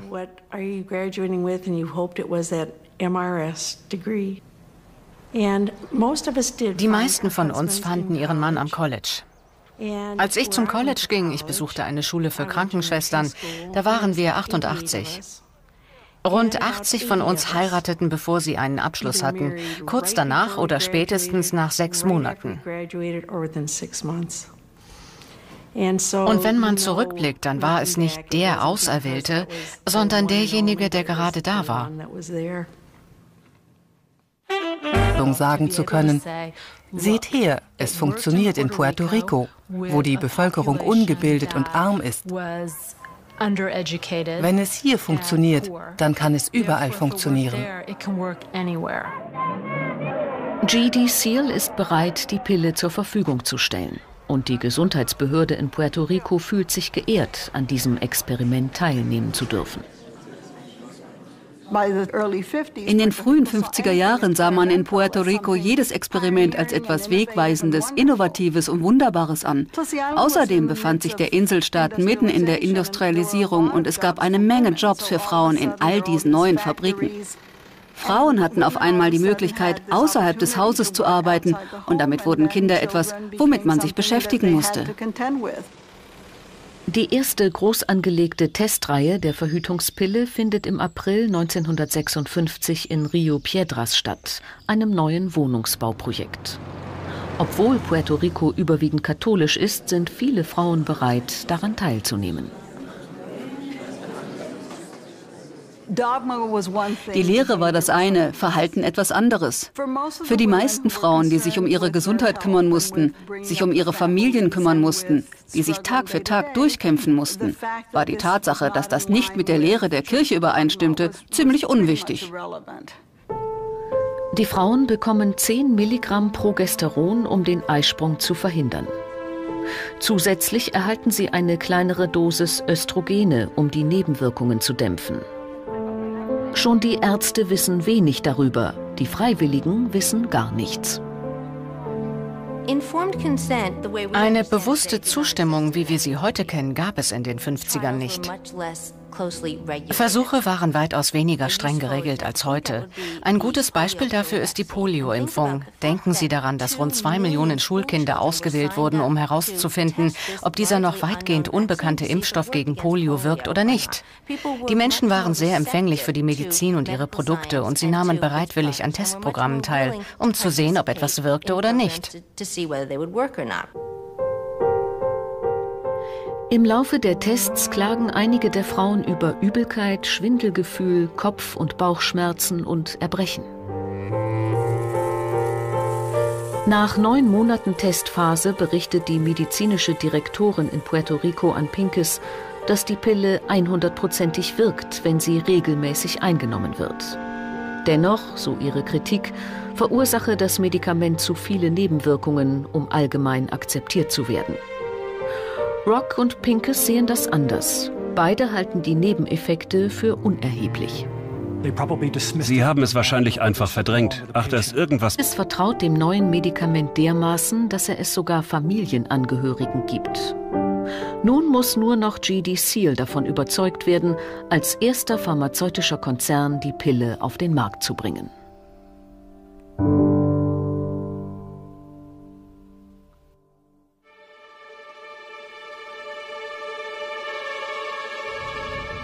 Für Seal, ein kleines, aufstrebendes Pharmaunternehmen, ist es verlockend, eine Verhütungspille auf den Markt zu bringen, aber auch riskant. In den 50er Jahren waren rund 25 Prozent der Amerikaner katholisch. Die Pharmaunternehmen fürchteten, dass die Katholiken nicht nur die Verhütungspille ablehnen, sondern auch alle anderen Produkte boykottieren würden, die von dem Unternehmen hergestellt wurden. 1957 wagt Ziel einen spektakulären Schritt und bringt die Pille unter dem Namen Enovit als Medikament gegen Menstruationsbeschwerden auf den Markt. In den nächsten zwei Jahren erhalten rund 500.000 Frauen ein Rezept für das neue Präparat. Damit war die Katze aus dem Sack. Über Nacht bekamen mehr Frauen Menstruationsbeschwerden, als man sich vorstellen konnte. Ich meine, die Pille wurde für alles verschrieben, weil jeder wusste, dass der tatsächliche Effekt die Empfängnisverhütung war.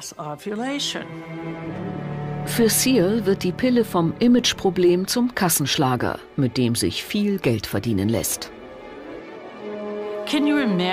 Stellen Sie sich eine Pille vor, die nichts mit Krankheit zu tun hat, nichts mit Therapie, kein Medikament, das man nur ein- oder zweimal einnimmt, sondern die nächsten 20 Jahre schluckt.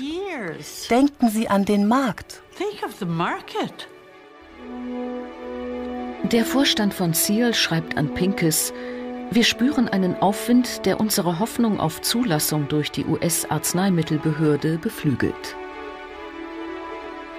Am 11. Mai 1960, sieben Jahre nachdem Gregory Pincus den ersten Scheck von Catherine McCormick erhalten hat, erteilt die amerikanische Food and Drug Administration der Verhütungspille die Zulassung.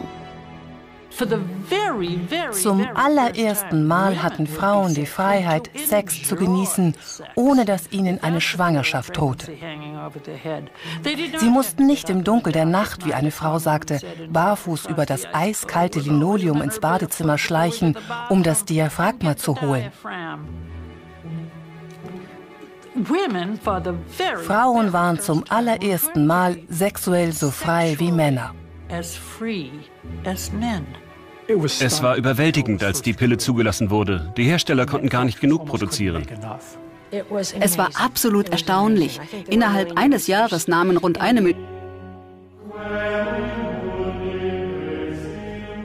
Während meiner College-Jahre gab es eine Mission in der großen lokalen Kirche in Südboston. Meine Mutter wollte nicht alleine gehen und so nahm sie mich mit in die Gruppe verheirateter Frauen. Und ich sage Ihnen, ich habe nie vorher so etwas gehört. Die Frauen kamen und die Priester sagten ihnen, wenn sie Geburtenkontrolle. Rock ist Harvard-Absolvent, Gynäkologe und Katholik. John Rock ging fast täglich zum Abendmahl. Er hatte auch Patienten im alten Boston City Hospital. Und er ging jeden Morgen in die Kirche zur unbefleckten Empfängnis, die auf der anderen Straßenseite lag, ein Jesuitenzentrum. Er glaubte an das Gute im Menschen. Er glaubte an das Gute in der Menschheit. Er war ein tiefgläubiger Katholik. Nicht nur der Glaube schränkt Rocks Forschung ein.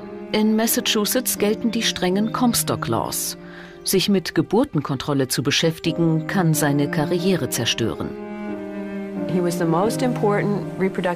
Er war landesweit der bedeutendste Spezialist im Bereich der Fortpflanzungsforschung. Er hätte das nicht zu tun brauchen, aber er war unersättlich, immer auf der Suche nach neuen Anregungen. Er wollte immer Dinge wissen, die andere nicht wussten. Also er war außerdem für die Geburtenkontrolle. Als Katholik war er damit ziemlich einzigartig.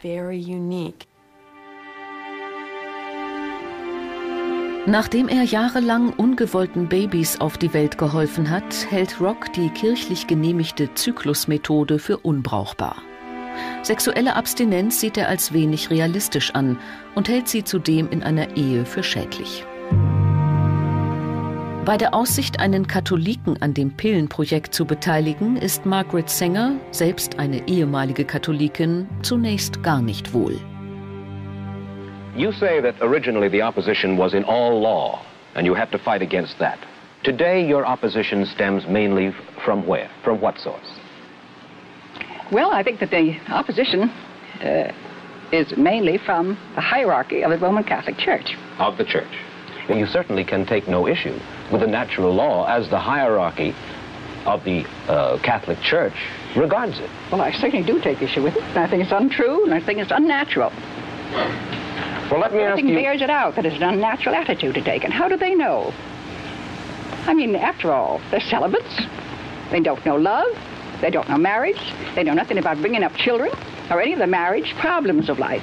And yet they speak to people as if they were God. Margaret Sanger. Hier gab es die Möglichkeit, eine sexuelle Freizügigkeit auszuleben, die es nie zuvor gegeben hatte, abgesehen mal von kleinen Gruppen sogenannter Bohemians.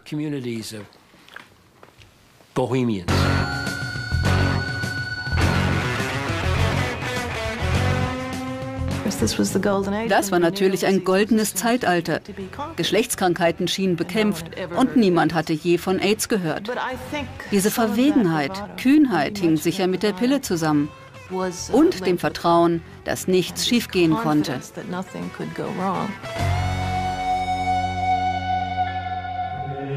Am 25. Juli 1968 veröffentlicht Papst Paul IV. seine Enzyklika Humanae Vitae von der menschlichen Würde.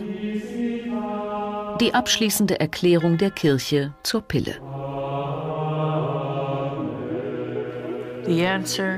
Die Antwort von Paul IV. war Nein.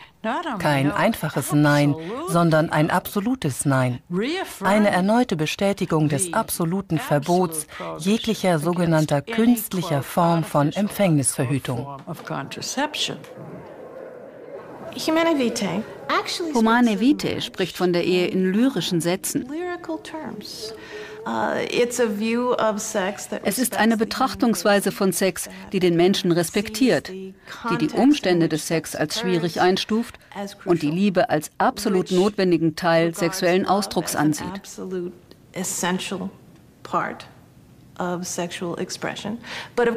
Aber natürlich begrenzt sie Sex auf die Ehe und verbindet ihn damit unweigerlich mit der Zeugung.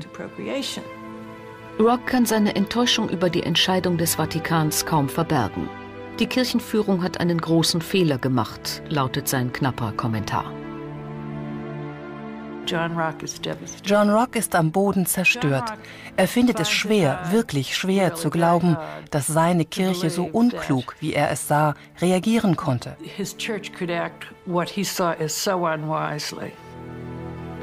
John geht jetzt auf die 80 zu. Er weiß, dass es nicht noch einen Kampf geben wird. John Rock geht auf Distanz zur Kirche. Er stirbt 1984 im Alter von 94 Jahren. Infolge der Enzyklika sollten sich Millionen katholischer Frauen über die Lehren der Kirche zur Empfängnisverhütung hinwegsetzen. Sie nahmen die Pille genauso häufig wie nicht-katholische Frauen. In den späten 60er Jahren klagen tausende Frauen bei ihren Ärzten über Nebenwirkungen. Es sind die gleichen Probleme, mit denen Pinkes und Rock bereits in Gynäkologe und Katholik. John Rock ging fast täglich zum Abendmahl. Er hatte auch Patienten im alten Boston City Hospital.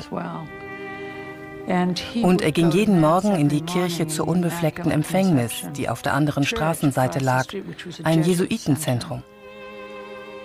Er glaubte an das Gute im Menschen. Er glaubte an das Gute in der Menschheit. Er war ein tiefgläubiger Katholik. Nicht nur der Glaube schränkt Rocks Forschung ein. In Massachusetts gelten die strengen Comstock Laws. Sich mit Geburtenkontrolle zu beschäftigen, kann seine Karriere zerstören. Er war landesweit der bedeutendste Spezialist im Bereich der Fortpflanzungsforschung. Er hätte das nicht zu tun brauchen, aber er war unersättlich, immer auf der Suche nach neuen Anregungen. Er wollte immer Dinge wissen, die andere nicht wussten. Also er war außerdem für die Geburtenkontrolle. Als Katholik war er damit ziemlich einzigartig. Nachdem er jahrelang ungewollten Babys auf die Welt geholfen hat, hält Rock die kirchlich genehmigte Zyklusmethode für unbrauchbar. Sexuelle Abstinenz sieht er als wenig realistisch an und hält sie zudem in einer Ehe für schädlich. Bei der Aussicht, einen Katholiken an dem Pillenprojekt zu beteiligen, ist Margaret Sanger, selbst eine ehemalige Katholikin, zunächst gar nicht wohl. You say that originally the opposition was in all law, and you have to fight against that. Today, your opposition stems mainly from where? From what source? Well, I think that the opposition uh, is mainly from the hierarchy of the Roman Catholic Church. Of the Church. You certainly can take no issue with the natural law as the hierarchy of the uh, Catholic Church regards it. Well, I certainly do take issue with it. I think it's untrue, and I think it's unnatural. Well, let me ask you... bears it out that it's an unnatural attitude to take. And how do they know? I mean, after all, they're celibates. They don't know love. They don't know marriage. They know nothing about bringing up children or any of the marriage problems of life. And yet they speak to people as if they were God. Margaret Sanger Margaret Sanger war auf eine Art eine fanatische Antikatholikin. Das saß auf jeden Fall sehr tief bei ihr. Es war sehr emotional. Aber sie hatte auch ein ausgezeichnetes politisches Gespür.